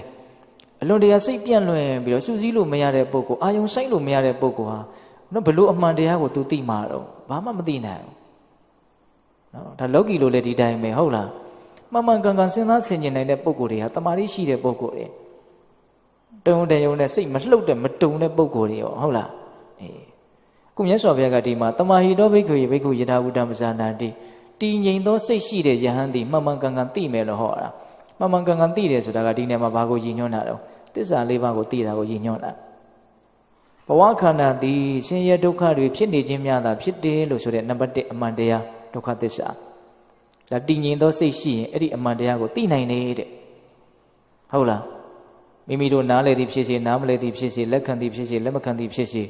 ဘဝခန္ဓာတွေကတော့တကယ်တမ်းကဆင်းရဲဒုက္ခတွေဖြစ်နေခြင်းများတာဖြစ်တယ်တဲ့ဆင်းရဲဒုက္ခကလွဲလို့တခြားဘာတွေဖြစ်နေတာမှမဟုတ်ဘူး အဲ့ဒါလောကကြီးရဲ့နံပါတ်1အမှန်တရားဘယ်တော့မှမပြောင်းလဲတဲ့အမှန်တရားဒါပေမဲ့အဲ့ဒီအမှန်တရားကိုဒကာဓမ္မတို့ဦးဇင်းတို့တွေကအခုချိန်မှာမသိနိုင်သေးဘူးသိလည်းပဲအနုဘောဓညာလောက်နဲ့ပဲသိတယ်ပฏิဝေဒအဆင့်ရောက်အောင်မသိဘူးအဲ့တော့အဲ့ဒီဟာကိုထိုးထွင်းပြီးတော့သိကျင်တယ်မြင်ကျင်တယ်ဆိုရင်သိနိုင်လောက်တဲ့တမာတိရှိအောင်ကြိုးစားရမယ်တမာတိရှိရင်ခန္ဓာတည်ဆင်းရဲတယ်ဆိုတဲ့ဒုက္ခသစ္စာကိုသိနိုင်တယ်မြင်နိုင်တယ်ဟုတ်လား လောဘသည်ဒုက္ခဖြစ်ခြင်းရဲ့အကြောင်းတရားဖြစ်တယ်ဆိုတာနံပါတ်1လောကကြီးရဲ့အမှန်တရားသမုဒိယသစ္စာဆင်းရဲဒုက္ခဆိုတာလောဘဆိုတဲ့ဗရဏအကြောင်းတရားကြီးကိုအကြောင်းခံပြီးတော့ဖြစ်ကြတာအဲ့ဒီအမှန်တရားကိုတမာတိရှိရင်သိနိုင်တယ်ဟုတ်လားလောဘချုပ်ခြင်းဒီဒုက္ခချုပ်ခြင်းဖြစ်တယ်လို့ဆိုတဲ့နံပါတ်3လောကကြီးရဲ့အမှန်တရားនិရောဓသစ္စာဒါကိုလည်းပဲတမာတိရှိလို့ရှိရင်သိနိုင်တယ်မြင်နိုင်တယ် မဲခင်ရှင်ပါးသည်ဒုက္ခငြိမ်းရာသို့ဆက်ရောက်ကြောင်းလမ်းကြောင်းဖြစ်တယ်လို့ဆိုတဲ့နံပါတ်၄လောကကြီးရဲ့အမှန်တရားမကသစ္စာဒါကိုလည်းပဲတမာတိရှိတဲ့ပုဂ္ဂိုလ်တွေဟာမမှန်ကန်ကန်သိနိုင်တယ်မြင်နိုင်တယ်အဒီတမာတိဆိုတဲ့တရားလေးရဲ့အရေးပါမှုကိုနားလည်ဖို့လိုတယ်ဒါကြောင့်ဦးဇင်းတို့နိဗ္ဗာန်ရောက်ကြောင်းမြတ်စွာဘုရားညွှန်ပြတဲ့လမ်းကြောင်းအမှန်တီလာတမာတိပညာဒီလိုမလားဟုတ်လားလားနော်တမာတိသည် မဂ်ခင်၈ပါးထဲမှာလည်းပဲအလွန်အရေးပါတဲ့အင်္ဂါအစိတ်အပိုင်းတည့်ရအနေနဲ့ရှိမနေဘူးလားရှိနေတယ်တိတ်ခါသုံးပါးထဲမှာလည်းပဲတီလတိတ်ခါတမာတိတိတ်ခါပညာတိတ်ခါဆိုပြီးတော့ကျင့်စရာကြီးသုံးခုထဲမှာလည်းပဲတမာတိတိတ်ခါဆိုပြီးတော့နော်တခန္တနာတတိတနန်ရှိမနေဘူးလားဒါကတချို့ကတမာတိကိုအာဘုရားသာသနာနဲ့တွေ့တဲ့အချိန်မှာသိဖို့ရာကလိုရင်းပဲတမာတိရှိဖို့ကအဓိကမဟုတ်ဘူးလို့ပြောကြတာတွေကိုပြောကြတာတွေကြားရလို့ဒီစကားလေးကိုဦးဇင်းတို့ပြောပြတာဟုတ်လားတ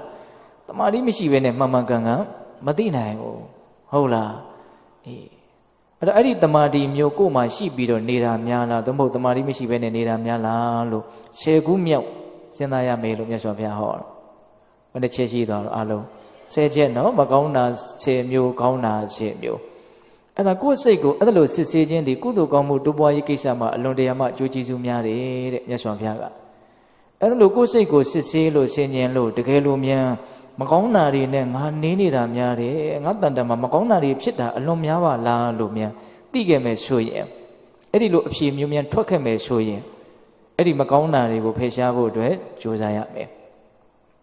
ကောင်းတာတွေအဖြစ်များတယ်ငါကောင်းမှုနဲ့ပဲနေတာများတယ်ကောင်းတဲ့အည်အသွေးနဲ့ပဲ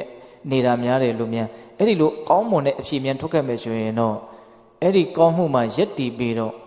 ထွတ်တဲ့အလွန်အာသောတရားတွေကုန်အောင်ကြိုးစားရမယ်တဲ့ အဲ့ဒီနေ့မှာဦးဇင်းတို့ဆက်ပြီးတော့ပြောတရားရှိတာကမကောင်းတာတွေအဖြစ်များတယ်လို့မြန်သိခဲ့မယ်ဆိုရင်အဲ့ဒီမကောင်းမှုတွေကိုဖယ်ရှားနိုင်အောင်ကြိုးစားရမယ်ဆိုတဲ့အချက်ကလေးကိုမြတ်စွာဘုရားဟောပြထားတဲ့စကားလုံးလေးတွေအတိုင်းအသေးစိတ်ကလေးဦးဇင်းနေနဲ့ပြောကြည့်ခြင်းဟုတ်လားကိုယ့်ကိုယ်ကိုစဉ်းစားလိုက်လို့ဆင်ခြင်လိုက်လို့စစ်ဆေးလိုက်လို့ဩဘောကမှာမကောင်းတာတွေမကောင်းတဲ့စိတ်တွေနဲ့ပဲငါအနေများနေပါလားလို့တကယ်လို့မြဲအဲ့ဒါလိုမြဲအဖြေထွက်ခဲ့မယ်ဆိုရင် များသောအားဖြင့်တော့စစ်ဆေးကြည့်မယ်ဆိုရင်တော့အဲ့ဒီအဖြေပဲထွက်မှာပဲများပါတယ်ဒါဦးဇင်းတို့လည်းဒီတိုင်းပဲဒကာဓမ္မတို့လည်းဒီတိုင်းပဲဖြစ်လိမ့်မယ်ဟုတ်တယ်မဟုတ်လားအဲ့ဒီအဖြေလောက်ရတယ်ဆိုရင်ကိုမစိုးသေးဘူး။ကောင်းဆိုလေများသောအားဖြင့်ကစစ်ကိုမစစ်စေဘူး။ဟောကမကောင်းတာကြီးကိုပဲကောင်းတယ်လို့ထင်နေတာ။ဟုတ်တယ်မဟုတ်လား။မကောင်းတာကိုမကောင်းဘူးလို့သိရတဲ့ပုဂ္ဂိုလ်ကိုကိုကိုကိုမကောင်းတာတွေဖြစ်နေပါလားလို့သိရတဲ့ပုဂ္ဂိုလ်ကမသိရတဲ့ပုဂ္ဂိုလ်ထက်အများကြီးမသာဘူးလား။ ဟောတော့သူကကုစားဖို့အတွက်သူ့မှာလမ်းကြောင်းပွင့်နေတယ်။ဟုတ်လား။ခုမြတ်စွာဘုရားကအဲ့ဒါလို့ကိုကိုကိုစစ်ဆေးလို့အော်မကောင်းတာတွေအဖြစ်များတယ်ဟဲ့လို့မြတ်သိခဲ့မယ်ဆိုရင်အဲ့ဒီမကောင်းမှုကိုဖယ်ရှားနိုင်အောင်ကြိုးစားရမယ်တဲ့ဘလောက်ထိလုံလဝရိယထက်ထက်တန်တန်ဆန္ဒတွေထက်ထက်တန်တန်နဲ့အဲ့ဒီအကုသိုလ်တရားတွေကိုဖယ်ရှားဖို့ကြိုးစားရမှာလဲဆိုရင်တဲ့အာဒိဋ္ဌတိသောဝါအာဒိဋ္ဌစေလောဝါ ကိုကောင်းကဆပင်ကိုအခက်မသိလို့မီးလောင်တဲ့အခါမျိုးမြန်ကြုံခဲ့မယ်ဆိုရင်အဲ့ဒီမီးကိုငြိမ့်သက်ဖို့အတွက်ကိုဘလောက်ပြင်းပြင်းထန်ထန်ကြိုးစားမလဲတစ်ချက်လောက်စဉ်းစားအောင်ကိုဝတ်ထားတဲ့အင်ကြီးကိုဝတ်ထားတဲ့အဝတ်ပစိုးထမိန်ကိုအခက်မသိလို့မြန်မီးလောင်ခဲ့မယ်ဆိုရင်အဲ့ဒီလောင်းနေတဲ့မီးကိုဘလို့ဝရိယမျိုးနဲ့ကိုငိမ့်တတ်မလဲကျန်တဲ့လှုပ်တွေအသာထားအဲ့ဒီအချိန်မှာတော့အဲ့ဒီမီးကိုငိမ့်ဖို့ကအရေးအကြီးဆုံးပဲမဟုတ်လားနော်အခက်မသိလို့ခေါင်းကိုလောင်းတဲ့မီးအဝတ်ကိုလောင်းတဲ့မီးစိတ်ကူးလေးနဲ့လောင်းကြည့်ပေါ့ ဟုတ်လားတကယ်လောင်ဖို့ဆိုတာကတော့ဖြစ်ထောင်ဖြစ်ခဲ့ကိစ္စကြီးပါပဲဒါပေမဲ့အခက်မသိလို့မြန်လောင်ခဲ့မယ်ဆိုရင်တော့ဘယ်လောက်အတိုင်းအတာထိနော်အားစိုက်ပြီးတော့ကိုအဲ့ဒီမိကိုငြိမ်းမလဲဟုတ်လားဘလောက်ကြံတဲ့ဘလောက်အလုတ်အရေးကြီးတယ်ပဲပြောပြောအဲ့ဒီအလုတ်လောက်ကတော့အရေးမကြီးဘူးခုမြတ်စွာဘုရားကအကုသိုလ်တရားဖယ်ရှားရေးကိစ္စမှာအဲ့ဒါလောက်အရေးကြီးလုပ်ရမယ်လို့ပြောတာဒါအလွန်မြင်မာတဲ့ဥပမာပေါ့နော်လိုက်နာနိုင်ဖို့ကတော့တော်တော်ကိုမလွယ်သေးဘူးအဲ နော်ဦးဇင်းတို့ကဒါကိုယ့်စိတ်ကိုပဲကိုစဉ်းစားပြီးတော့ပြောကြည့်တာပါအဲ့ဒီလောက်စိတ်သက်ကြီးနဲ့အကုသိုလ်တရားကိုပယ်ရှားဖို့မကြိုးစားသေးတာမအားထုတ်သေးတာတော့အမှားပဲအဲ့ဒါကြောင့်မို့လို့လည်းပဲဒကာဓမ္မတို့ဦးဇင်းတို့တွေဟာဒီကနေ့အချိန်ထိဒီဆင်းရဲတွင်တွေကမတက်နိုင်နေတာဟုတ်ရဲ့လားခုမြတ်စွာဘုရားကအကုသိုလ်တွေများတယ်ဆိုတာကိုသိခဲ့မယ်ဆိုရင်အဲ့ဒီအကုသိုလ်တွေကိုဖယ်ရှားဖို့အတွက်အခုပြောခဲ့တဲ့ဝရိယမျိုးထိအခုပြောခဲ့တဲ့ဆန္ဒမျိုးထိ ဝရိယတွေဆန္ဒတွေကိုမြင့်တင်ရမယ်ခေါင်းလောင်းနေတဲ့မိကိုငြိမ့်တယ်လို့မျိုးဝတ်ထားတဲ့ဝတ်အင်ကြီးကိုလောင်းနေတဲ့မိကိုငြိမ့်တယ်လို့မျိုးတဲ့အလွန်ထိမိတဲ့ဥမာလို့မဆိုနိုင်ဘူးလားဆိုနိုင်တယ်အဲ့ဒီမှာအသုံးနှုန်းလေးတွေကိုလည်းမြတ်စွာဘုရားအတိအကျသုံးနှုန်းပြီးတော့ပြောတယ်ဗျတေတံယေဝပါပကနာဓမ္မနာအကုတလနာအဓိမတောသံသောစဝါယမောစဥဒ္ဒါဟောစဥဒ္ဒောလီစအပတိဝါနိစတတိစတံပစင်ဉ္စကရဏီယံတဲ့ အဲ့ဒီတုတ်တံမှာမြတ်စွာဘုရားဟောထားတဲ့အသုံးနှုန်းလေးတွေအဓိပ္ပာယ်ကမပြောတာတော့တေတံယေဝပါပကနာဓမ္မနာအကုတလနာအခုပြောခဲ့တဲ့အကုသိုလ်တရားတွေယုံညံ့တဲ့တရားတွေကိုတဲ့ကိုကိုကိုစစ်ဆေးလို့မကောင်းတာတွေအတွေ့များမယ်ဆိုရင်ပေါ့လေနော်မှန်ကြည့်တဲ့ပုဂ္ဂိုလ်ကမှန်ထဲမှာနော်အညစ်ညစ်ပတ်နေတာတွေပေးကြီးနေတာတွေအမျက်လုံးတော့မှမျက်ဝတ်တွေပါတွေမြန်ကတ်နေတာမြန်တွေ့ခဲ့မယ်ဆိုရင်ဘာလုပ်မလဲအော်အချိန်တွေပါတွေစောင်းအောင်မလားအဆောင်မအောင်တောက်လျှောက်ပါနော် ရုပ်အညစ်အကြေးကြတော့အဲ့ဒါလောက်ဖယ်ရှားဖို့ထက်တန်တယ်ဒါနဲ့စိတ်အညစ်အကြေးကတော့နေရွှေရဲရွှေပေါ့နော်အာမပဲရိတ်တာသွားမှာပဲဟုတ်လားကျန်တဲ့အလုပ်တွေအကုန်လုံးကရှိမှရှိနေတယ်ကျန်တဲ့အလုပ်တွေပြီးတော့မှအဲ့ဒီအလုပ်ကိုဘယ်မှာထားတော့နောက်ဆုံးမှထားတယ်အခုဒီမှာမြတ်စွာဘုရားကအကုသိုလ်တရားကိုဖယ်ရှားဖို့အတွက်တဲ့ဘလောက်ထိထက်သန်တဲ့သန္တာဝရိယရှိရမလဲဆိုတာကိုပြောပြတာတေတံယေဝပါပကနာအကုသလနာဓမ္မနာအခုပြောခဲ့တဲ့အကုသိုလ်တရားတွေကို ပဟာနာယပယ်ရှားဖို့ရန်အလွန်ကအဓိမတ်တော့အလွန်ကြီးမားတဲ့အတိုင်းအတာရှိရမယ်။ဘာတွေရှိရမှာတော့ဆိုတော့စန္ဒတဲ့။ဒါတွေကိုဖယ်ရှားခြင်းနဲ့ပျောက်သွားခြင်းနဲ့စန္ဒသည်အလွန်ကြီးမားတဲ့အတိုင်းအတာရှိရမယ်။နော်။သန္ဒောစဝါယမောစတဲ့။ဆန္ဒရှိနေုံများလည်းမပြီးသေးဘူး။ဝါယမတကယ်ကြိုးစားဖို့လည်းလိုသေးတယ်။အကုသိုလ်တရားတွေကိုပယ်ဖို့တကယ်မလုပ်ရမလို့ကြိုးစားရမယ်။တတိပဋ္ဌာန်အလုပ်တွေကိုအားထုတ်ရမယ်ဝိပဿနာအလုပ်တွေကိုအားထုတ်ရမယ်။ ဝါယမောစာဝါယမစိုက်ပြီးတော့လို့ရမေးတဲ့ပြီးတော့ဗာပြောတော့ဥဒ္တာဟောစာတဲ့ဟောဥဒ္တာဟဆိုတဲ့စကားလုံး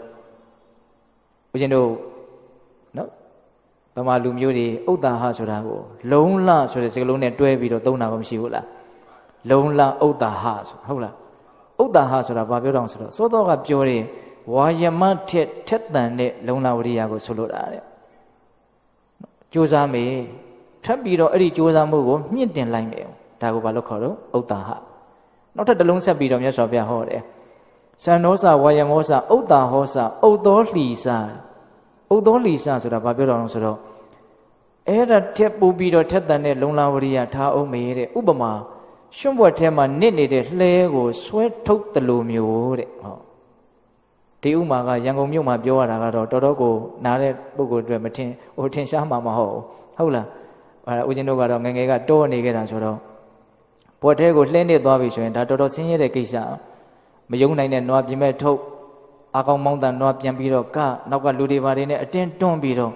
တခါတလေဘွက်တွေကအရန်ကြီးတဲ့ခါကျတော့လှဲပတောင်းထိမြုပ်နေတယ်အဲ့ဒီလှဲကိုအလွန်ပြင်းထန်တဲ့နော်အာဆွမ်းနေနဲ့အပေါ်ကိုရောက်အောင်တွန်းတင်ကြရတာအဲ့ဒီလိုမျိုးဝရိယလို့ပြောတာ ရွှွန့်ပွက်ထဲမှာနစ်နေတဲ့လှဲကိုဆွဲထုတ်တဲ့ဝရိယမျိုးတဲ့ဥဒ္သောလိဆိုအဲ့ဒါမျိုးပြောတာတဲ့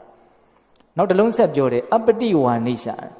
သံသောစာဝါယမောစာဥဒ္ဒဟောစာဥဒ္သောလိစာအပတိဝါနိရှာအပတိဝါနိဆိုတာဘာပြောတာလဲဆိုတော့မဆုံနစ်သောလုံလဝရိယမဆုံနစ်တဲ့လုံလဝရိယဆိုတာကကိုရောက်ချင်တဲ့ပန်းတိုင်ကိုမရောက်မချင်းဒီသွားနေတဲ့ကိစ္စကိုမရက်ဘူးဟုတ်ကိုရချင်တဲ့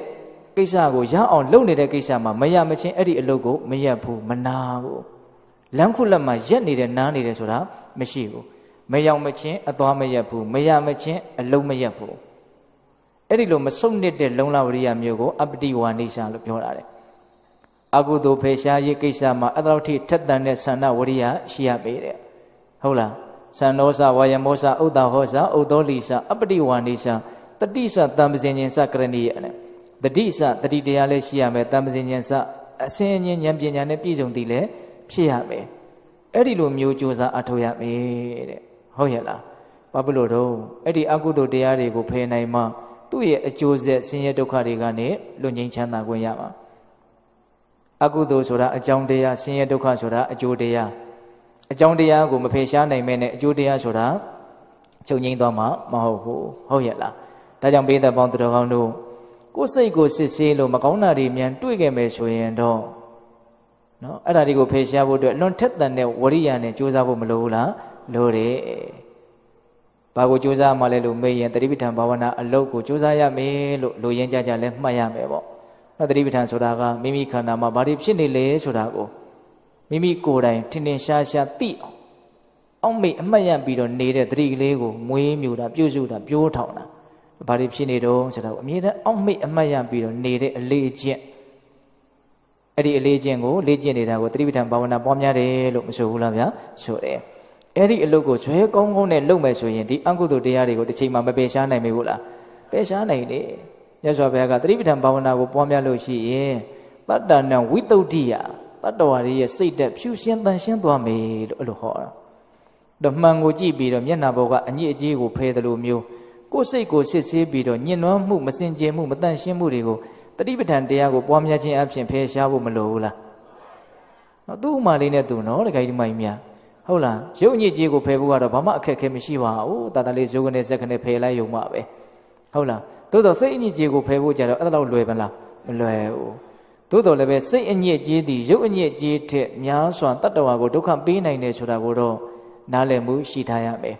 အဲ့ဒီနားလည်မှုရှိတာကိုပဲအခြေခံပြီးတော့အဲ့ဒီစိတ်အညစ်အကြေးကိုတန်ရှင်းအောင်ကြိုးစားရမယ်တကယ်လို့ကိုကိုကိုစစ်ဆေးလို့ကောင်းတာတွေမြတ်အဖြစ်များတယ်လို့သိခဲ့မယ်ဆိုရင်တော့ဗါတဲ့တော့အဲ့ဒီကောင်းမှုမှာယက်တည်ပြီးတော့ထွတ်ထက်အလွန်အာတော်တရားတွေကုန်အောင်ကြိုးစားရမယ်တဲ့ဒါဦးဇင်းတို့သစိတ်တသုတ်တန်ရဲ့အနှစ်ချုပ်ပေါ့နော်အဲ့တော့ဦးဇင်းတို့ဒီကနေ့ညသစိတ်တသုတ်တန်ရဲ့ပါဏိယဇတ်တော်ရဲ့လို့ပြောမဲ့အကြောင်းအရာနှစ်ချက် တရားနေတန်းတော့ကမပြောခဲ့ဘူးလားနော်ပါဏိယဇတ်ကိုဆက်ပြီးတော့ပြောမယ်နော်ပါဏိယဇတ်ကိုဦးဇင်းတို့ဘာလို့ပြောချင်တာတော့ဆိုတော့ဒီတုတ်တန်လေးနဲ့အခုပြောခဲ့တဲ့သစိတ်တတုတ်တန်လေးနဲ့ဆက်ဆက်ပြီးတော့စဉ်းစားစရာတွေးစရာအလွန်ကောင်းလို့ဒီပါဏိယဇတ်လေးကိုပြောချင်တာတနည်းအားဖြင့်လည်းပဲဒီပါဏိယဇတ်ထဲမှာကိုယ်စိတ်ကိုစစ်ဆေးပြီးတော့တွေ့လာတဲ့ဒီမကောင်းမှုတွေကိုဖယ်ရှားနိုင်အောင်ကြိုးစားသွားကြတဲ့တခေအရိယာသူတော်ကောင်းကြီးတွေရဲ့အကြောင်းကိုပြောခြင်းလို့ သူတို့ရဲ့ဘဝကိုအားကြဖို့အတူယူဖို့နေယူဖို့နော်ဒီလိုဆက်ဆက်မှုလေးတွေရှိနေတဲ့အတွက်ကြောင့်ပါဏိယဇတ်ကိုဦးဇင်းတို့ပြောမလို့ဟုတ်လားအဲ့တော့ဒီပါဏိယဇတ်ကိုမြတ်စွာဘုရားဘာလို့ဟောတာတော့ဆိုတော့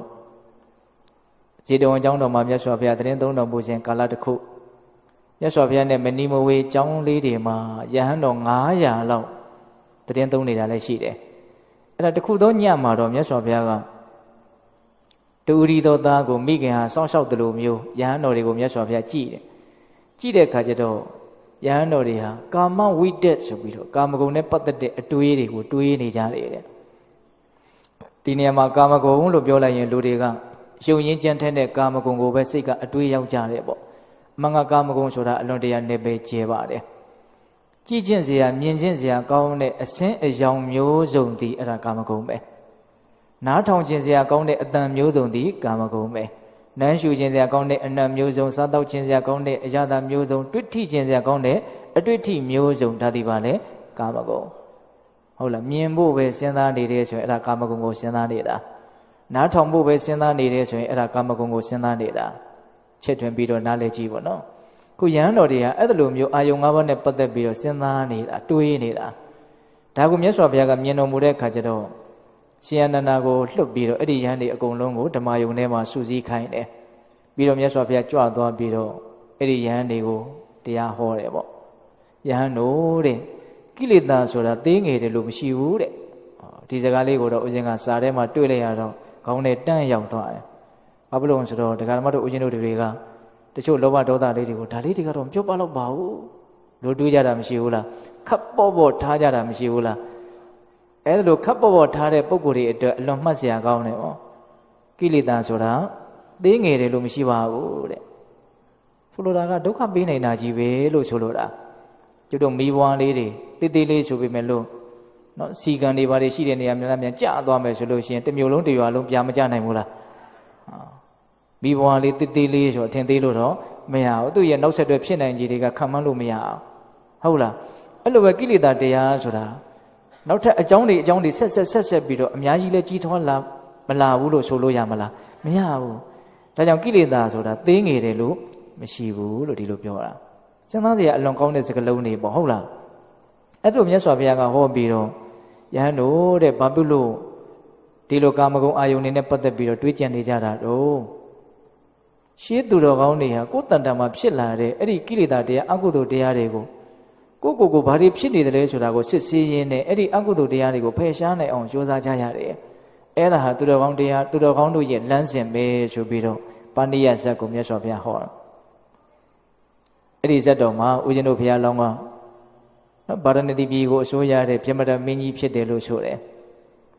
အဲ့ဒါနန်းတော်မှာလည်းပဲပြည့်စေကဗုဒ္ဓအရှင်မြတ်တွေကြွကြွပြီးတော့ဆုံးဖုံးပေးတယ်လို့ဆိုတယ်ဒါမင်းကြီးကကြည်ညိုလွန်းလို့နန်းတော်မှာပင့်ပြီးတော့ဆုံးလုပ်ကျွေးတာပေါ့ အဲ့ဒါတနေ့တော့ပြည့်စေကဗုဒ္ဓအရှင်မြတ်၅ပါး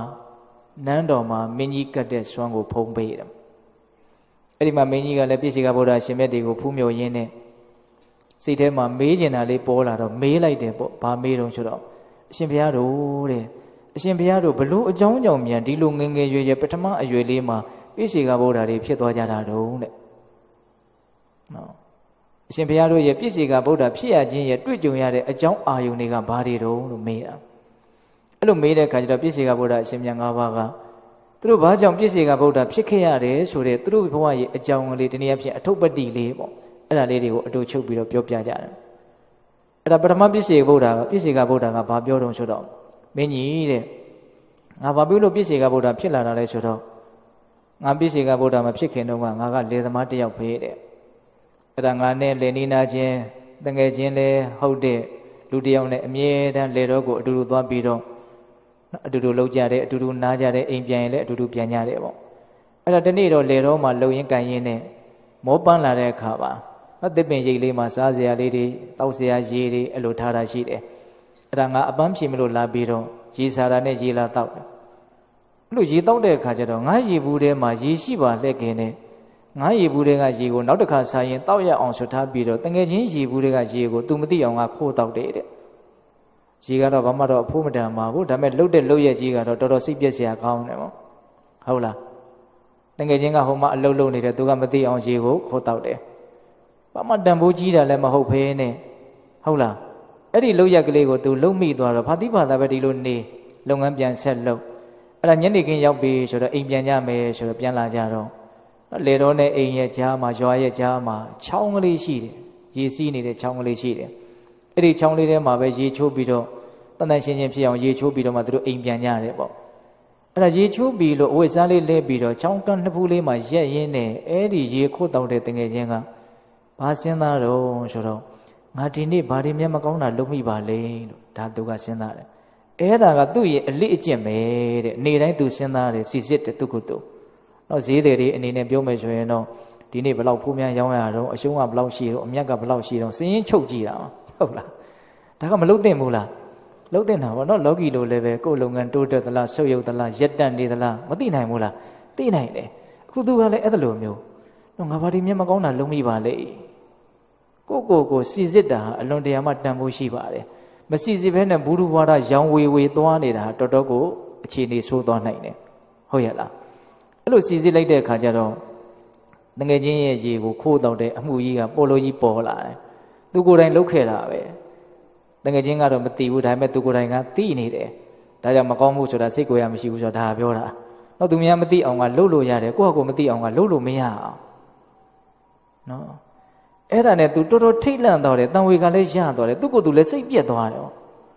တိတိပြောရင်လောဘရဲ့အပေါ်မှာ तू စိတ်ပြက်သွားတယ်သူကသူစိတ်ပြက်တယ်ဆိုတာလေလောဘကြောင့်ဒါကြီးကလွတ်မိတာ哦ဟုတ်လားကိုယ့်ဟာကြတော့ तू မိသိရှိထားမယ်သူများဟာကြတော့မတရားယူတယ်အဲ့ဒါနဲ့ဒီလောဘကြီးထွားလာရင်တော့ငါအပေပုံကိုရောက်ရလိမ့်မယ်ဒီလောဘကငါ့ကိုအပေပုံကိုပြစ်ချလိမ့်မယ်ဒါကြောင့်ဒီလောဘမကြီးထွားသေးခင်မှာငါပယ်နှုတ်နိုင်အောင်ကြိုးစားမယ်ဆိုတော့အဲ့ဒီနေ့မှာရက်ရင်းနဲ့သူ့ကိုယ်သူစစ်စစ်စစ်ဆေးပြီးတော့တွေ့လာတဲ့မကောင်းမှုကိုသူကိုယ်တိုင်ဖယ်ဖို့ဝါယမစိုက်တာ အစုမဖယ်ခိုင်းလို့လည်းရတဲ့ကိစ္စမဟုတ်ဟုတ်လားနီးမှန်လမ်းမှန်သူကြိုးစားတာအဲ့ဒါပါရမီကလည်းပါတဲ့ပုဂ္ဂိုလ်ဆိုတော့အဲ့ဒီချောင်းတစ်ဖေးမှာပဲမတ်တက်ရရင်နဲ့ပြစ္ဆေကဘောဓိဉာဏ်ကိုရတယ်တဲ့ဒါကပါရမီတွေကလည်းအကြောင်းတရားတွေနဲ့အာကြီးစွာရှိမနေဘူးလားရှိနေတယ်ဒါပေမဲ့အဲ့ဒီပါရမီတွေကတော့ဝေသောအကြောင်းပေါ့ဝေးကွာသောအကြောင်းပေါ့နီးကပ်သောအကြောင်းကဘာတော့များသူ့ကိုယ်သူစစ်ဆေးပြီးတော့တွေ့လာတဲ့မကောင်းမှုကနေလွတ်မြောက်အောင်သူကြိုးစားတာအဲ့ဒါနီးကပ်တဲ့အကြောင်း ဒါကြောင့်ဦးဇင်းတို့ဖျားဖြစ်အောင်ကြိုးစားအထုတ်တဲ့နေရာတွေကိုပြောတဲ့နေရာမှာနော်ဒူရီဏိဒန်းနဲ့အဝိဒူရီဏိဒန်းနဲ့တန်တိကေဏိဒန်းနဲ့ဒီလိုအသုံးနှုန်းလေးတွေရှိတယ်ဒူရီဏိဒန်းဆိုတာဘုရားဖြစ်ဖို့အတွက်ဝေးကွာတဲ့အကြောင်းတရားလေးတင်ခြင်းနဲ့ကဘာတသိပါရမီဖြည့်ရတာဒါဘုရားဖြစ်ဖို့အတွက်ဝေးကွာတဲ့အကြောင်းအဝိဒူရီဏိဒန်းနဲ့မနီမဝေးအကြောင်းလေးတွေလည်းရှိသေးတယ်ဒါလည်းပြောထားတာရှိတယ်တန်တိကေဏိဒန်းနဲ့အလွန်နီးကပ်တဲ့အကြောင်းတရားလည်းရှိတယ် ခုပြည့်စေကဗုဒ္ဓဖြစ်သွားတာဝေးသောအကြောင်းကိုမျက်ွယ်ပြုလို့တော့မရဘူးနော်ဒါပါရမီပါလို့လည်းပြည့်စေကဗုဒ္ဓဖြစ်သွားတာတို့တရားဓမ္မတို့ဦးဇင်းတို့တွေလည်းပဲကိုအကြောင်းကိုစစ်စစ်ပြီးတော့ကိုကိုကိုမကောင်းတာလေးတွေလုံမိတာလေးတွေစိတ်ထဲမှာပြန်တွေ့တာလေးတွေမရှိနိုင်ဘူးလားရှိနိုင်တယ်တွေးမိတာလေးတွေလည်းရှိမယ်သို့တော့ပြည့်စေကဗုဒ္ဓကတော့ဖြစ်မသွားအောင်ဟုတ်တယ်မဟုတ်လားခုသူကတော့မဖြစ်သွားဘူးပြည့်စေကဗုဒ္ဓဖြစ်သွားတယ်အဲ့ဒါသူပြည့်စေကဗုဒ္ဓဖြစ်ရခြင်းအကြောင်းအဲ့တော့မင်းကြီးကသဘောကျဩ ကိုအကြောင်းကိုအဲ့ဒါလိုစဉ်းစားပြီးတော့အဲ့ဒါလိုမျိုးစ조사လိုက်တော့လည်းပဲအဲ့ဒါလိုဖြစ်သွားပါလားအဲ့ဒါနဲ့ဒုတိယပြည့်စေကဗုဒ္ဓကဆက်ပြောပြန်တယ်။ဟောဘာပြောတုံးဆိုတော့မင်းကြီးတဲ့ငါပြည့်စေကဗုဒ္ဓဖြစ်ရခြင်းရဲ့အကြောင်းကနော်ငါကပြည့်စေကဗုဒ္ဓမဖြစ်ခင်တော့ကတထေးတယောက်ဖေးတဲ့အဲ့ဒါအိမ်ပေါ်ကနေပြီးတော့အိမ်တကားပေါက်ဖွင့်ပြီးတော့လမ်းပေါ်ကိုကြည့်တော့လမ်းပေါ်မှာဇနီးမောင်နှံနှစ်ယောက်လမ်းလျှောက်လာတော့ငါတွေ့ရတယ် အဲ့ဒါအမျိုးသမီးဖြစ်တဲ့ပုဂ္ဂိုလ်ကအလွန်မှရုပ်ကတင့်နေတယ်ချုံမောလှပတယ်ပေါ့အဲ့တော့ငါရဲ့စိတ်ထဲမှာနော်မတန်ရှင်းတဲ့နော်ဖောက်လဲဖောက်ပြန်စိတ်တွေဖြစ်တယ်ပေါ့နော်သူတစ်ပါးရဲ့တာမယာမှန်သိပါလဲခင်နဲ့တက်မဲ့မောတဲ့သဘောတွေငါစိတ်မှာဖြစ်လာတယ်အဲ့ဒီမြင်ကွင်းလွန်သွားပြီဆိုတော့ငါတော်တော်ရှက်သွားတယ်တဲ့သူဘာတွေစဉ်းစားမိလဲသူ့သူပြန်ပြီးတော့စီစစ်ကြည့်တာအော်ဒီလောဘကလည်းပဲအလွန်ဆိုးဝါးပါလားတကယ်ဆိုလို့ရှိရင် သူ့မှာလည်းအိမ်တော်နဲ့ကို့မှာလည်းအိမ်တော်နဲ့နော်ဒါကိုဒီလိုမျိုးလောဘတွေကလွန်ကျူးပြီးတော့ထွက်လာတာတော်တော်မှစိတ်ပြည့်စရာပဲတကယ်တမ်းကဒီမနောကံကနေစတာပဲလေဟုတ်တယ်မဟုတ်လားမနောကံကဒီလိုဖြစ်မလာဘူးဆိုရင်ဝစီကံကာယကံဖြစ်စရာအကြောင်းမရှိဘူးဟုတ်လားဒါပေမဲ့စိတ်ထက်ဖြစ်တာဘာအရေးကြီးတာမှတ်လို့လို့တချို့ကပြောကောင်းပြောမယ်ပေါ့အဲ့ဒီအရေးမကြီးတဲ့ကိစ္စလေးတွေကနေတိုးပွားလာပြီးတော့အရေးတွေကြီးသွားကြတာပဲဟုတ်တယ်မဟုတ်လားအေး အဲ့ဒါနဲ့သူစဉ်းစားစီစစ်ပြီးတော့ဒီလောဘကိုပဲသူဆက်ဆုပ်တယ်ယွန့်ရှာတယ်အဲ့ဒီလောဘကလွတ်အောင်သူကြိုးစားတယ်အဲ့ဒါပရင်ပေါက်ဘေးမှာရရင်နဲ့ပြည့်စေကဗုဒ္ဓဖြစ်တယ်နော်နောက်တတိယပြည့်စေကဗုဒ္ဓကဘာပြောလဲဆိုတော့မင်းကြီးတဲ့ငါပြည့်စေကဗုဒ္ဓမဖြစ်ခင်တုန်းကငါရဲ့ငါရဲ့ဖခင်ရဲ့နော်ခကြီးတစ်ခုကိုသွားတော့တောအုပ်ကြီးတစ်ခုကိုဖျက်ကြမယ်လို့လုပ်တယ်အဲ့ဒီတောအုပ်ထဲမှာခိုးသားသမျှတွေရှိနေတတ်တယ်ဆိုတာကိုတို့ကကြားဖို့တည်းတဲ့ အဲ့ဒီခိုးသားဓမြတွေကဆရာတပည့်နှစ်ယောက်လာတယ်ဆိုလို့ရှိရင်ဆရာကိုထားခဲ့တပည့်ပြန်ဆရာကိုပြန်ပြီးတော့လာရွေးလှည့်သားဖနှစ်ယောက်လာတယ်ဆိုရင်ဖေအေကိုထားခဲ့သားပြန်ပြီးရင်ဖေအေကိုလာပြီးတော့ရွေးလှည့်ဒါသူတို့ရဲ့ထုံးစံလုပ်ပုံကိုင်းနီးအဲ့ဒါကိုသူတို့ကတိထားတဲ့ခါတော့သားဖနှစ်ယောက်ကတောအုပ်ထဲမဝင်ခင်တည်းကစပြီးတော့တိုင်ပင်ထားတယ်တကယ်လို့များအခက်မသိလို့အဲ့ဒီလူဆိုးတွေနဲ့တွေ့ရင်မင်းနိုင်ငံနဲ့ဘာတော်လဲလို့မရင်ဘာမှမတော်ဘူးလို့ပြောရမယ် အဲ့ဒါနဲ့တောအုပ်ထဲရောက်ရောသူတို့မျောလင့်ထားတဲ့အတိုင်းပဲကိုသားရမြတွေလူဆိုးတစ်ခုတွေနဲ့တွေ့တွေ့တဲ့အခါကျတော့မေးတယ်တဲ့ဘာတော်တုံးဆိုတော့တဖတ်နှစ်ယောက်စလုံးဘာမှမတော်ဘူးလို့ပြောတယ်ဘာမှမတော်ဘူးဆိုတော့တယောက်မှဖမ်းထားလို့မရအောင်ဖမ်းထားလဲဘယ်သူမှလာရွေးမှမမှုဖဲကိုဟုတ်လားအဲ့ဒါနဲ့သူတို့တော်တဲ့ကလွတ်လာတာပေါ့တောအုပ်ပြင်မဲ့ရောက်ပြီဆိုတော့ညနေခင်းရောက်တော့သားဖြစ်တဲ့လူကသူကလည်းပဲသူ့ကိုယ်သူစီစစ်တဲ့အလေးအကျင့်စစ်ဆေးတဲ့အလေးအကျင့်ကရှိတာကိုအဲ့ တော့ငါဒီနေ့ဘာမကောင်းတာလုပ်တုံးလို့စီစစ်တော့တိလျက်နဲ့ချွတ်ယွင်းသောစကားကိုပြောဆိုခဲ့တယ်ဆိုတဲ့မှုတာဝါဒကံလွန်ကျူးတာကိုသူတွေ့ရတယ်တဲ့။အော်ဒီပြင်နီလန်းနဲ့ငါအဲ့ဒီဘေးကလွတ်မြောက်အောင်လုပ်မယ်ဆိုရင်လုပ်လို့ရပါလဲခင်နဲ့ဘာဖြစ်လို့ငါတိလျက်နဲ့ချွတ်ယွင်းတဲ့စကားကိုပြောခဲ့ရတာတော့ဒီကိစ္စကိုသူစိတ်မကောင်းတတိတရားရတယ်တန်ဝေကတရားရတယ်အဲ့ဒါနဲ့ဩဘဝတန်တရားမှာ ဒီလိုမျိုးအတွေ့အကြုံတွေဖြစ်လာရင်ဒီလိုမျိုးမကောင်းမှုတွေဟာလွန်ကျူးမိတတ်တယ်ဒီမကောင်းမှုတွေကလွတ်မြောက်အောင်ဘဝတန်တရားကငါလွတ်အောင်လုပ်မယ်ဆိုတဲ့စိတ်မျိုးပေါ့ကြိုးစားရင်းနဲ့ပိစေကဗောဓိဉာဏ်ကိုရတယ်တဲ့အံ့ဩစရာပါပဲဟုတ်လားအဲ့ဒါဦးဇင်းတို့စတုထပြည့်စေကဗုဒ္ဓကတော့ဘာပြောတော့မင်းကြီးတဲ့ငါပြည့်စေကဗုဒ္ဓမဖြစ်ခင်တုန်းကငါကရွာစားတယောက်ဖေးတဲ့နော်ရွာတရားကိုအစိုးရတဲ့ရွာတကြီးတယောက် အဲ့ဒါတနေ့တော့ငါးစီကိုရွာသူရွာသားတွေစုဝေးပြီးတော့လာပြီးတော့အေးဆိုကြတယ်တဲ့ဘာလို့ကြတော့ဘာပြောကြတော့ခုခေတ်ဆိုရင်တော့ဆန္ဒပြတယ်လို့ဆိုကြပါစို့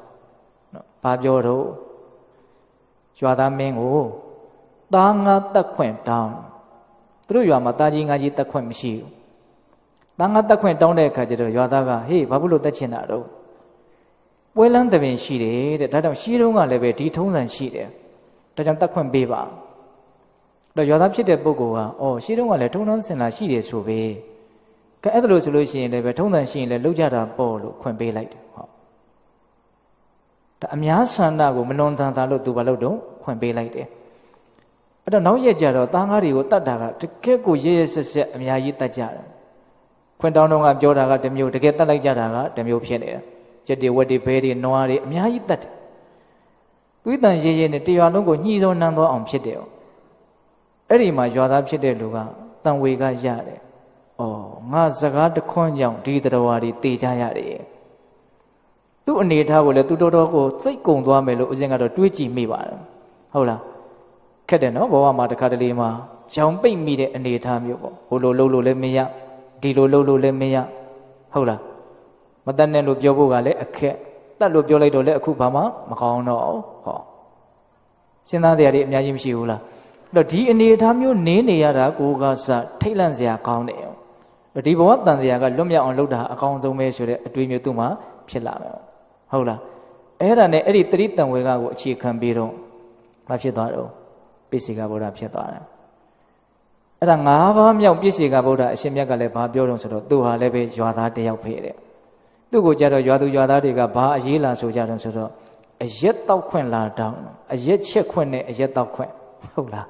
နော်အရက်အကြောင်းကနည်းနည်းတော့ပြောခြင်းတယ်ဒါပေမဲ့အချိန်ကမရတော့ဟုတ်လားထားပါတော့လေအဲ့လိုအရက်ချက်ခွင့်တောင်းတယ်တောက်ခွင့်တောင်းတဲ့အခါကျတော့ရွာသားကမင်းတို့ဘယ်တော့မှတောက်ခွင့်ရှိလို့တော့သူတို့ရွာမှာအရက်ချက်ပြီးတော့တောက်ရတယ်လို့မရှိဘူးပွဲလန်းသဘင်ရှိတဲ့အတွက်ကြောင့်ဒါထုံးစံရှိပါတယ်ဆိုတော့အဲ့ဒီထုံးစံနဲ့ကင်ပြီးတော့အခွင့်အရေးဆိုတာ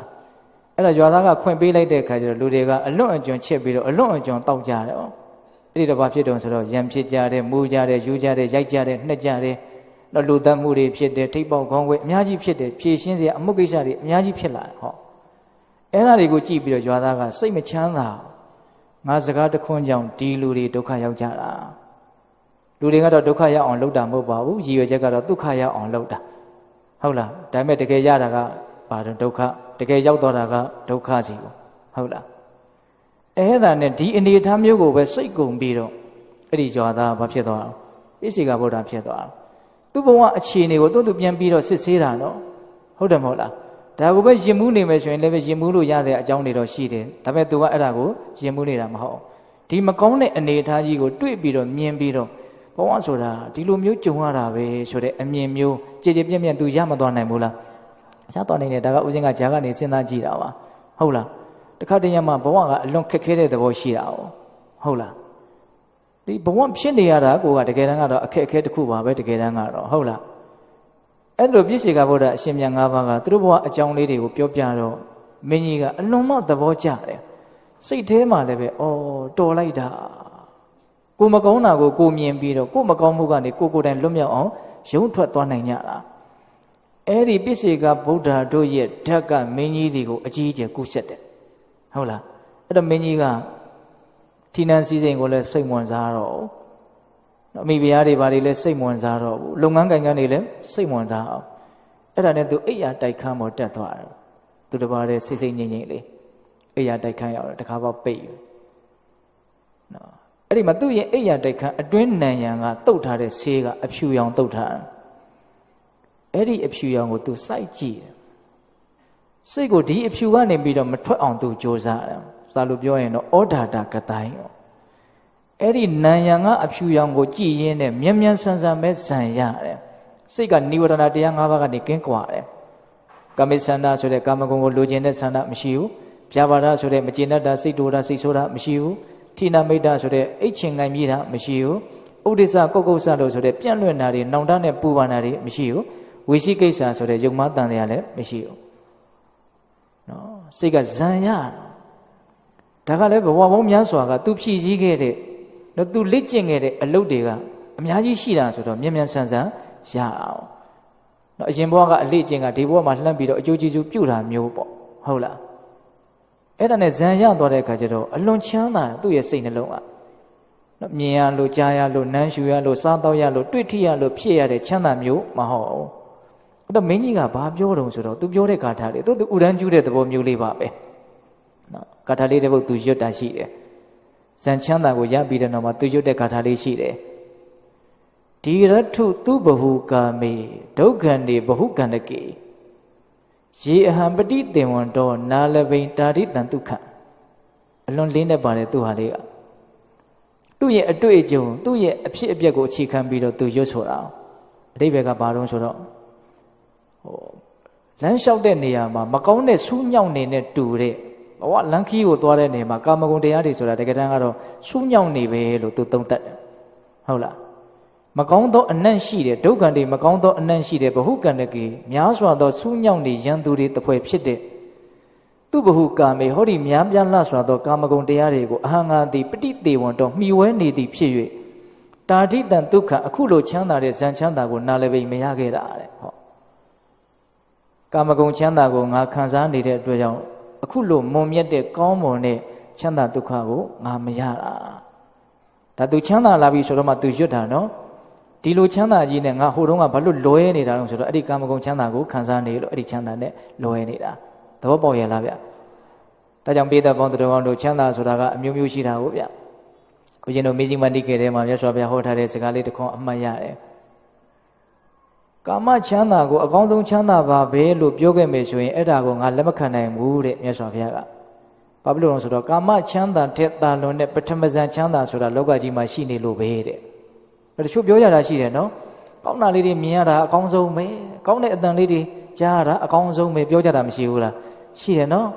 အတန်ကြိုက်တဲ့လူကအတန်ပေါ့အစင်းကြိုက်တဲ့လူကအစင်းပေါ့အကြိုက်တွေကတော့မတူကြဘူးဟုတ်လား အဲ့ဒါကိုမြတ်စွာဘုရားကပါတယ်တော့လက်မခံဘူးတဲ့ဘာလို့ဆိုသူ့တဲ့ချမ်းသာတဲ့ပထမဇန်ချမ်းသာဆိုတာလောကမှာရှိတယ်အဲ့ဒါပထမဇန်ရတဲ့ပုဂ္ဂိုလ်ကလည်းဟဲ့ဒီပထမဇန်ဟာအကောင်းဆုံးပါပဲလို့မြန်ပြောခဲ့မယ်ဆိုရင်တော့မြတ်စွာဘုရားကအဲ့ဒါကိုလည်းလက်မခံဘူးတဲ့ဘာလို့လို့တော့သူ့ထက်ချမ်းသာတဲ့ဒုတိယဇန်ချမ်းသာဆိုတာရှိနေသေးလို့ပဲတဲ့အစင်စင်ရှိတာနော်ချမ်းသာတွေကနော်တတိယဇန်ရှိမယ်သရုဒ္ဓဇန်ရှိမယ်ပြီးရင်និရောဓသမပတ်ရှိမယ်ပေါ့အကြံမြင်ကလေးဟုတ်လားအခုလိုပဲမင်းကြီးကပါတယ်တော့ ကာမဂုဏ်ချမ်းသာကိုခံစားနေတဲ့အတွက်ကြောင့်အခုလိုမွန်မြတ်တဲ့ကောင်းမွန်တဲ့တကယ့်ချမ်းသာကိုငါမရခဲ့တာဒါစဉ်းစားတာအဲ့လိုနဲ့သူမိဖုရားတွေလည်းအလာမခံဘူးထမင်းပိုးတဲ့လူလောက်ပဲလာတော့အဲ့ရတဲ့ခန်းထဲမှာပဲဇန်ချမ်းသာနဲ့နေတာဟုတ်လားအဲ့ဒါ3-4ရက်လောက်ရှိတော့ဘယ်သူရောက်လာတော့ဆိုတော့မိဖုရားကြီးရောက်လာတယ်ရောက်လာပြီးတော့မိဖုရားကြီးကသဘောပေါက်တယ်တော့ငါတို့ရှင်ဘုရင်ဒီလိုအနေအထားတွေကိုဆန့်ကျင်နေတယ်ဆိုတော့သူသဘောပေါက်တယ် အဲ့ဒါနဲ့မိဖုရားကြီးကဘာပြောလို့ဆိုတော့မင်းကြီးတဲ့ကာမဂုဏ်ချမ်းသာဆိုတာမွန်မြတ်ပါတယ်တဲ့သူပြောတာနော်ကာမဂုဏ်ချမ်းသာဆိုတာမွန်မြတ်ပါတယ်ကောင်းမွန်ပါတယ်တဲ့သူ့ကိုခံစားမယ်ဆိုလို့ရှိရင်နတ်ပြည်တောင်ရောက်နိုင်တယ်တဲ့ရတော်ရရအလောင်းမဲ့မိဖုရားကြီးပြောတာသူတကယ်ယုံကြည်လို့ပြောတာတော့ဟုတ်မယ်မထင်ပါဘူးမင်းကြီးကိုလာပြီးတော့နားချတာပဲဖြစ်မယ်လို့ထင်တယ်ဦးဇင်းကဟုတ်လားကာမဂုဏ်ချမ်းသာကိုခံစားရင်ဘာလဲတော့ နတ်ပြည်တောင်ရောက်မေးတဲ့အဲ့လောက်ကြီးလွယ်လွယ်မမတော့ပြောမထင်ဘူးလို့ဦးဇင်းကထင်တယ်ဒါပေမဲ့ तू ပြောတာကတော့အဲ့ဒီတိုင်းမှတ်တမ်းတင်ထားတာရှိတယ် तू အဲ့တိုင်တော့ပြောခဲ့တယ်ဘာလို့ပြောတာလဲဆိုတာလေးကတော့စဉ်းစားတယ်မရှိဘူးလားရှိရင်တော့မင်းကြီးကိုနားချတဲ့အနေနဲ့မြန်ပြောလေသလားဒါမှမဟုတ်တကယ်ကိုပဲတွေးဝေးပြီးတော့မြန်ပြောလေသလားဒါလည်းဖြစ်ချင်းလည်းဖြစ်နိုင်မယ်ပေါ့ဒါဦးဇင်းကစဉ်းစားကြည့်တာအဲ့လိုပြောတဲ့အခါကျတော့မင်းကြီးကဟဲအမိုက်မှပျက်စီးလေတော့ငေါက်တာပေါ့နော် ကာမဂုဏ်ချမ်းသာကိုခံစားလို့နတ်ပြည်ကိုရောက်တယ်လို့သင်ပေတုံးကကြားဖို့တော့တကယ်စင်စစ်ကာမဂုဏ်ချမ်းသာကိုရှာဖွေခြင်းကိုအကြောင်းပြုပြီးတော့တတ္တဝါတွေကမကောင်းမှုတွေကိုလုပ်ပြီးတော့အပယ်လေးပုံကိုသာရောက်ကြရတာကာမချမ်းသာဆိုတာတတ်တာတာကောင်းမွန်တာကနေနေမတတ်တာတဲ့မကောင်းမွန်တဲ့ဆင်းရဲတာတွေကများတယ်ဆိုပြီးတော့ဘုရားလုံးကြီးကအဲ့ဒီမှာကာမဂုဏ်ရဲ့အပြစ်တွေကိုသူအများကြီးပြောတယ်ကာမဂုဏ်ဆိုတာလက်တလောသေးစေတတ်တဲ့အစိတ်နဲ့တူတယ် တတ္တဝါတွေကိုအပိုင်းလိုက်အပိုင်းလိုက်ပြတ်သွားစေတဲ့အလွန်ကြောက်မက်ဖွယ်ရာကောင်းတဲ့ထက်မြက်တဲ့တန်လျက်တစ်ချောင်းနဲ့လည်းတူတယ်နော်အလွန်တရာမှပူလောင်တဲ့မိကြီးတွင်းကြီးနဲ့လည်းတူတယ်လို့ဟောအဲ့လိုမျိုးသူပြောတယ်ဒါကပိဿပေါင်းသူတော်ကောင်းတို့ဇံရနေတဲ့ပုဂ္ဂိုလ်တယောက်ကပြောတဲ့စကားပေါ့နော်တရားဓမ္မတို့ဦးဇင်းတို့ကာမကိုမြတ်နိုးပြီးတော့ကာမကိုပဲရှားဖွေနေကြတဲ့တရားဓမ္မတို့လိုဦးဇင်းတို့လိုပုဂ္ဂိုလ်မျိုးကဒီစကားတွေကိုရနှုံးပြီးနားလည်ဖို့သဘောပေါက်ဖို့ကတော့မလွယ်ဘူးဟုတ်တယ်မဟုတ်လား ကြားတော့ကြားလိုက်တာပဲလေကာမဆိုတာပြင်းထန်တဲ့အစိတ်တဲ့ကာမဆိုတာမိကြီးတွင်းကြီးတဲ့ကြားတော့ကြားတာပဲဒါပေမဲ့စိတ်ထဲမှာတကယ်တကယ်အဲ့လိုမျိုးမှတ်ထင်နိုင်ပါသလားလို့မေးရင်မမှတ်ထင်နိုင်ဘူးမမှတ်ထင်နိုင်လို့ပဲဒါတွေကိုတန်ဖိုးထားပြီးတော့မျက်မျက်နှုံနှုံရှားနေကြစေပဲမဟုတ်လားနော်ဒါကြောင့်ဦးဇင်းတို့ပေးတဲ့ပေါင်းတော်ကောင်းတို့တုတ္တမယဉာဏ်အနေနဲ့တော့ဒါကိုမှတ်သားထားရမယ်ကိုကိုယ်တိုင်ပဲဒါတွေကိုဟုတ်မဟုတ်ဆိုတာကိုစိန်တာမယဉာဏ်အနေနဲ့လည်းပဲမှန်မှန်ကန်ကန်စဉ်းစားတတ်ရမယ် ဘာဝနာမယဉာဏ်နဲ့သိဖို့ဆိုတာကတော့ကိုကိုယ်တိုင်ဘာဝနာကိုစ조사အထုတ်ဖို့လိုတာပေါ့အဲ့တော့ဒီနေ့မှာဦးဇင်းတို့စိန်တာမယဉာဏ်ကလေးနဲ့စဉ်းစားတဲ့နေရာမှာအထောက်အကူပြုဖို့ကာထာလေးတစ်ပုဒ်ဦးဇင်းရွတ်ပြမယ်အရှိတုန်းကတော်ကောင်းကြီးတွေရေးခဲ့တာတာတံသေဝခဏေဝပ္ပံတံဟေတုအနန္တဒုက္ခတတ္တမတီတော်ဟနေကာမေခုရဒါရမတုပမေတဲ့ကာထာလေးတစ်ပုဒ်ရှိတယ်ကာမဂုဏ်နဲ့ပတ်သက်ပြီးတော့သူ့ရဲ့ထင်မြင်ချက်အတိတ်ပဲဖွင့်ဆိုထားတာပေါ့နော်ကာมဂုဏ်ဆိုတာဘယ်လိုသဘောရှိတော့တဲ့ တေဝခဏေဝမိဝဲစဉ်ခဏ၌တာလင်အပ္ပံအနှဲငယ်များသောတာတန်တာယာမှုသည်အဋ္ဌိရှိ၏ကြည်နေတုံးကလေးနားထောင်နေတုံးကလေးနမ်းရှုနေတုံးလေးစားတောက်နေတုံးလေးတွေ့ထိနေတုံးကလေးအနှဲငယ်များသောတာယာမှုရှိတယ်တဲ့တာယာမှုမရှိဘူးလို့တော့မပြောဘူးတာယာမှုကလည်းရှိတယ်အမှန်ပဲ ရှိနေလို့လည်းပဲဒီနေရာမှာလူတွေကကတ်နေကြတာပေါ့ဟုတ်တယ်မို့လားတာယာမှုမရှိဘူးလို့မပြောဘူးเนาะတာယာမှုပါလဲရှိတယ်ဒါပေမဲ့တာယာမှုကဘာလဲတော့ နည်းနည်းလေးလို့ပြောတယ်တန်ဟေတုအနန္တဒုက္ခတန်ဟေတုတွေအဲ့ဒီအနှဲငယ်မြတ်သောတာယာမှုကလေးကိုအကြောင်းပြုပြီးတော့အနန္တဒုက္ခမဆုံးနိုင်သောဆင်းရဲဒုက္ခတွေရှိတယ်တဲ့ဟောနည်းနည်းလေးသောတာယာဘယ်ကိုအကြောင်းပြုပြီးတော့ဆင်းရဲဒုက္ခတွေကိုကြတော့ဘယ်လိုပြောတော့မဆုံးနိုင်ဘူးတဲ့အနန္တလို့သူသုံးတယ်နော်နာအန္တအန္တဆိုတာအဆုံးနာဆိုတာမရှိတာအနန္တဆိုတာဘာလို့အဆုံးမရှိတာ စိတ်ငြိရတာစိတ်ဆင်းရတာစိတ်ပူရတာတွေအဆုံးမရှိဘူးနော်စဉ်းစားကြည့်နော်တခါကြီးဒီမကြီးများဟုတ်လားအနှဲငယ်မြတ်သောတာယာမှုကိုအကြောင်းပြုပြီးတော့မဆုံးနိုင်တဲ့ဆင်းရဲဒုက္ခတွေကိုရင်ဆိုင်ရတယ်ဒါကာမရဲ့အတိတ်ပဲပဲဟုတ်လားကာမဆိုတာဘာလဲလို့မေးရင်ဒီတိုင်းပြောတဲ့ပစ္စည်းရောကောင်းခွက်နည်းနည်းလေးကိုမကောင်းတာတွေအစိုးမရှိလောက်အောင်များတာကြီးနဲ့ရောမှွေထားတာအဲ့ဒါကာမပဲဟုတ်တယ်မဟုတ်လားဒါကြောင့်မို့လို့တဲ့တတ္တမန္တီရောဟနေကာမေခုရဒါရမတူပမေ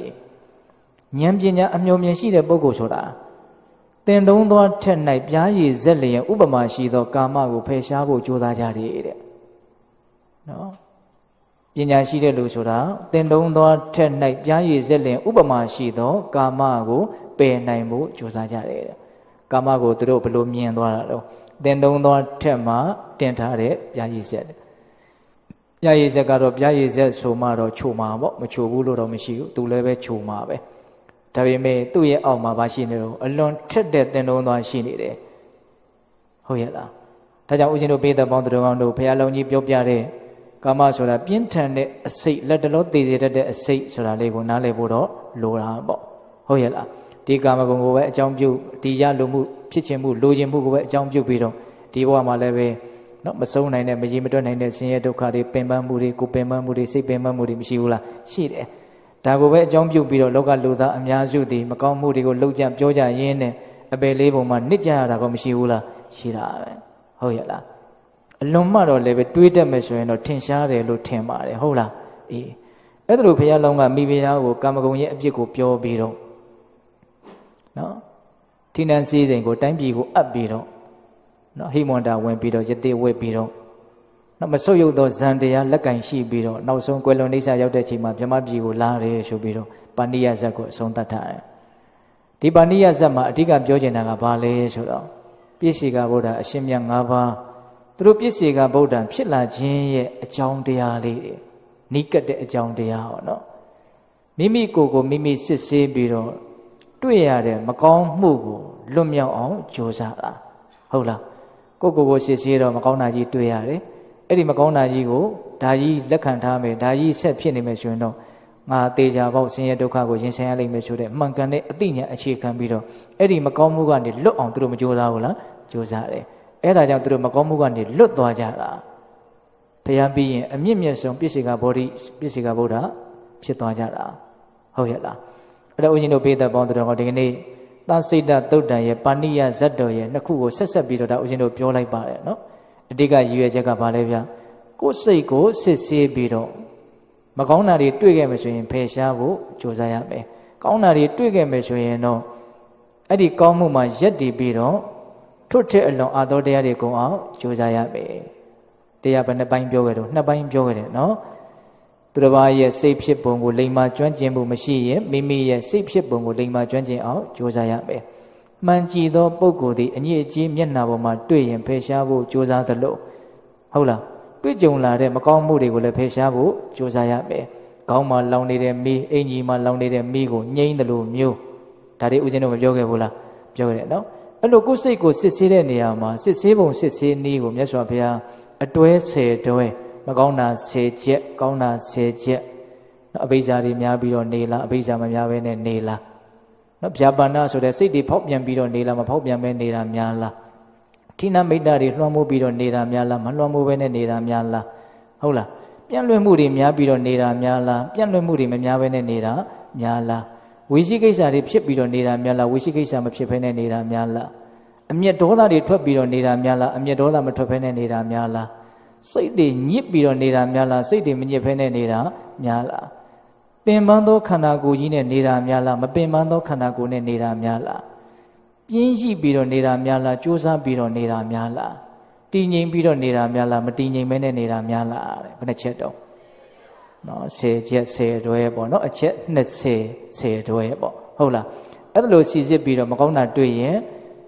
ဖေရှားဖို့ကြိုးစားရမယ်အလွန်ထက်သန်တဲ့ဆန္ဒဝရိယနဲ့ကြိုးစားရမယ်ဟုတ်လား ကောင်းတာတွေ့ရင်တော့ရင်မှုမနေပဲနဲ့အဲ့ဒီကောင်းမှုပေါ်မှာရက်တည်ပြီးတော့ထွတ်တဲ့အလွန်ကောင်းတဲ့ကောင်းအောင်ကြိုးစားရမယ်အလွန်ပြည့်စုံတဲ့ဒေသနာလေးလို့မဆိုနိုင်ဘူးလား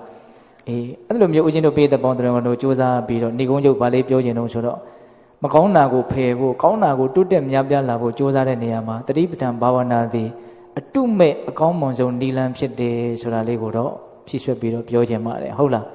မိမိခန္ဓာမှာဘာတွေဖြစ်နေလဲဆိုတာကိုသတိထားပြီးတော့နေတဲ့အလေးအကျင့်ကောင်းပေါ့ ဟုတ်လားကောင်းတာတွေပဲဖြစ်ဖြစ်ဆိုတာတွေပဲဖြစ်ဖြစ်ဖြစ်ချင်တာတွေပဲဖြစ်ဖြစ်မဖြစ်ချင်တာတွေပဲဖြစ်ဖြစ်ဒီခန္ဓာမှာဖြစ်လာတဲ့သဘာဝတရားတွေကိုအမှန်အကန်သိအောင်နားလည်အောင်သတိထားပြီးတော့နေတဲ့အလေးအကျင့်ဒါကိုဘာလို့ခေါ်တော့တတိပဋ္ဌာန်ဘာဝနာအာထုတ်တယ်လို့ခေါ်တာဟုတ်လားအေးအဲ့ဒါလို့တတိပဋ္ဌာန်ဘာဝနာအာထုတ်ပြီးတော့အပမတာဆိုတဲ့တတိတရားလက်ကင်ထားပြီးတော့မိမိတို့ကိုမိမိစစ်ဆေးကိုယ်စိတ်ကိုစစ်ဆေးပြီးတော့မကောင်းတာတွေတွေ့ရင်မကောင်းတာတွေကလွတ်မြောက်အောင် ကောင်းတာတွေတွေ့ရင်အဲ့ဒီကောင်းတာတွေပေါ်မှာရက်တည်ပြီးတော့ကောင်းတဲ့ကောင်းအောင်ကြိုးစားနိုင်ကြတယ်သူတော်ကောင်းတွေဖြစ်ကြပါစေလို့ဦးဇင်းတို့ဆန္ဒပြုပြီးတော့ကိုယ်စိတ်ကိုစစ်ဆေးပါဆိုတဲ့တရားကိုမေတ္တာပို့ပြီးတော့အဆုံးသတ်ကြရအောင်နော်ဘဝတုတဗ္ဗမင်္ဂလာရကံတို့တဗ္ဗဒေဝတာတဗ္ဗဗုဒ္ဓနုဝဝေနတရာဒုက္ခိဘွန်တုတိဘဝတုတဗ္ဗမင်္ဂလာရကံတို့တဗ္ဗဒေဝတာတဗ္ဗဓမ္မနုဝဝေနတရာဒုက္ခိဘွန်တုတိ ဘဝတုတဗ္ဗမင်္ဂလာရကံတို့တဗ္ဗဒေဝတာတဗ္ဗတံဃာနုဝဝေနတရာဒုက္ခိဘွန်တုတိဒေတုမကံတင်တရားနာပိသပေါင်းတော်ကောင်းတို့သာတာအလုံးသောတတ္တဝအနန္တတို့အားတဗ္ဗမင်္ဂလာလောကီလောကုတ္တရာကောင်းဆိုသည်မြမင်္ဂလာဝဝတိဘဝတုကောင်းစွာမသိဖြစ်တော်မူကြပါစေတည်းတဗ္ဗဒေဝတာမိမိတို့ခန္ဓာကိုယ်မှာစောင့်ကြနေကြကုန်သောနတ်မိမိတို့အိမ်မှာစောင့်ကြနေကြကုန်သောနတ်မိမိတို့သာသနာမိမိတို့ကဘာမှာစောင့်ကြစောင့်ကြနေကြကုန်သောနတ် မြတ်နာကောင်းနာပေါင်းတို့ကလည်းပဲရက္ခဏ်တို့ကောင်းစွာမသိစောင့်ရှောက်တော်မူနိုင်ကြပါစေတည်းတဗ္ဗဗုဒ္ဓနုဘဝေနကင်းငါဝါလူသေးစုမကပွင့်တော်မူကြတဲ့သုတရထာဘာဘုရားရှင်ကိုတော်မြတ်တို့ရဲ့တကူတေဇောအာနုဘောတော်တို့ကြောင့်၎င်းတဗ္ဗဓမ္မတုဘဝေနမဲလီတံဖူလီတံနိဗ္ဗာန်ပတိတိဟုဆိုသောစေရတော်တရားတော်မြတ်တို့ရဲ့တကူတေဇောအာနုဘောတော်တို့ကြောင့်၎င်းတဗ္ဗတံဃာတုဘဝေန မေကထံလေးရောက်ဖလထံလေးရောက်ဆိုသောရှင်တော်ရိယတန်ခါရှင်မြတ်တို့နှင့်တကွသီလကိုသမာဓိကိုပညာကိုတို့နဲ့ပြည့်စုံတော်မူကြတဲ့သမုဒိတံကအရှင်ကောင်းရှင်မြတ်ပေါင်းတို့ရဲ့တကုတေဇောအာနုဘောတော်တို့ကြောင့်၎င်းတရားနေရောညပါဘေကမဆိုင်ချိန်ရှိတိုင်းချိန်ရှိတိုင်းဒုက္ခိကိုစိတ်နှပြကြောင့်မှချမ်းသာခြင်းရှိကြကုန်သည်ဘဝတို့ကောင်းစွာမသွေဖြစ်တော်မူကြပါစေတည်း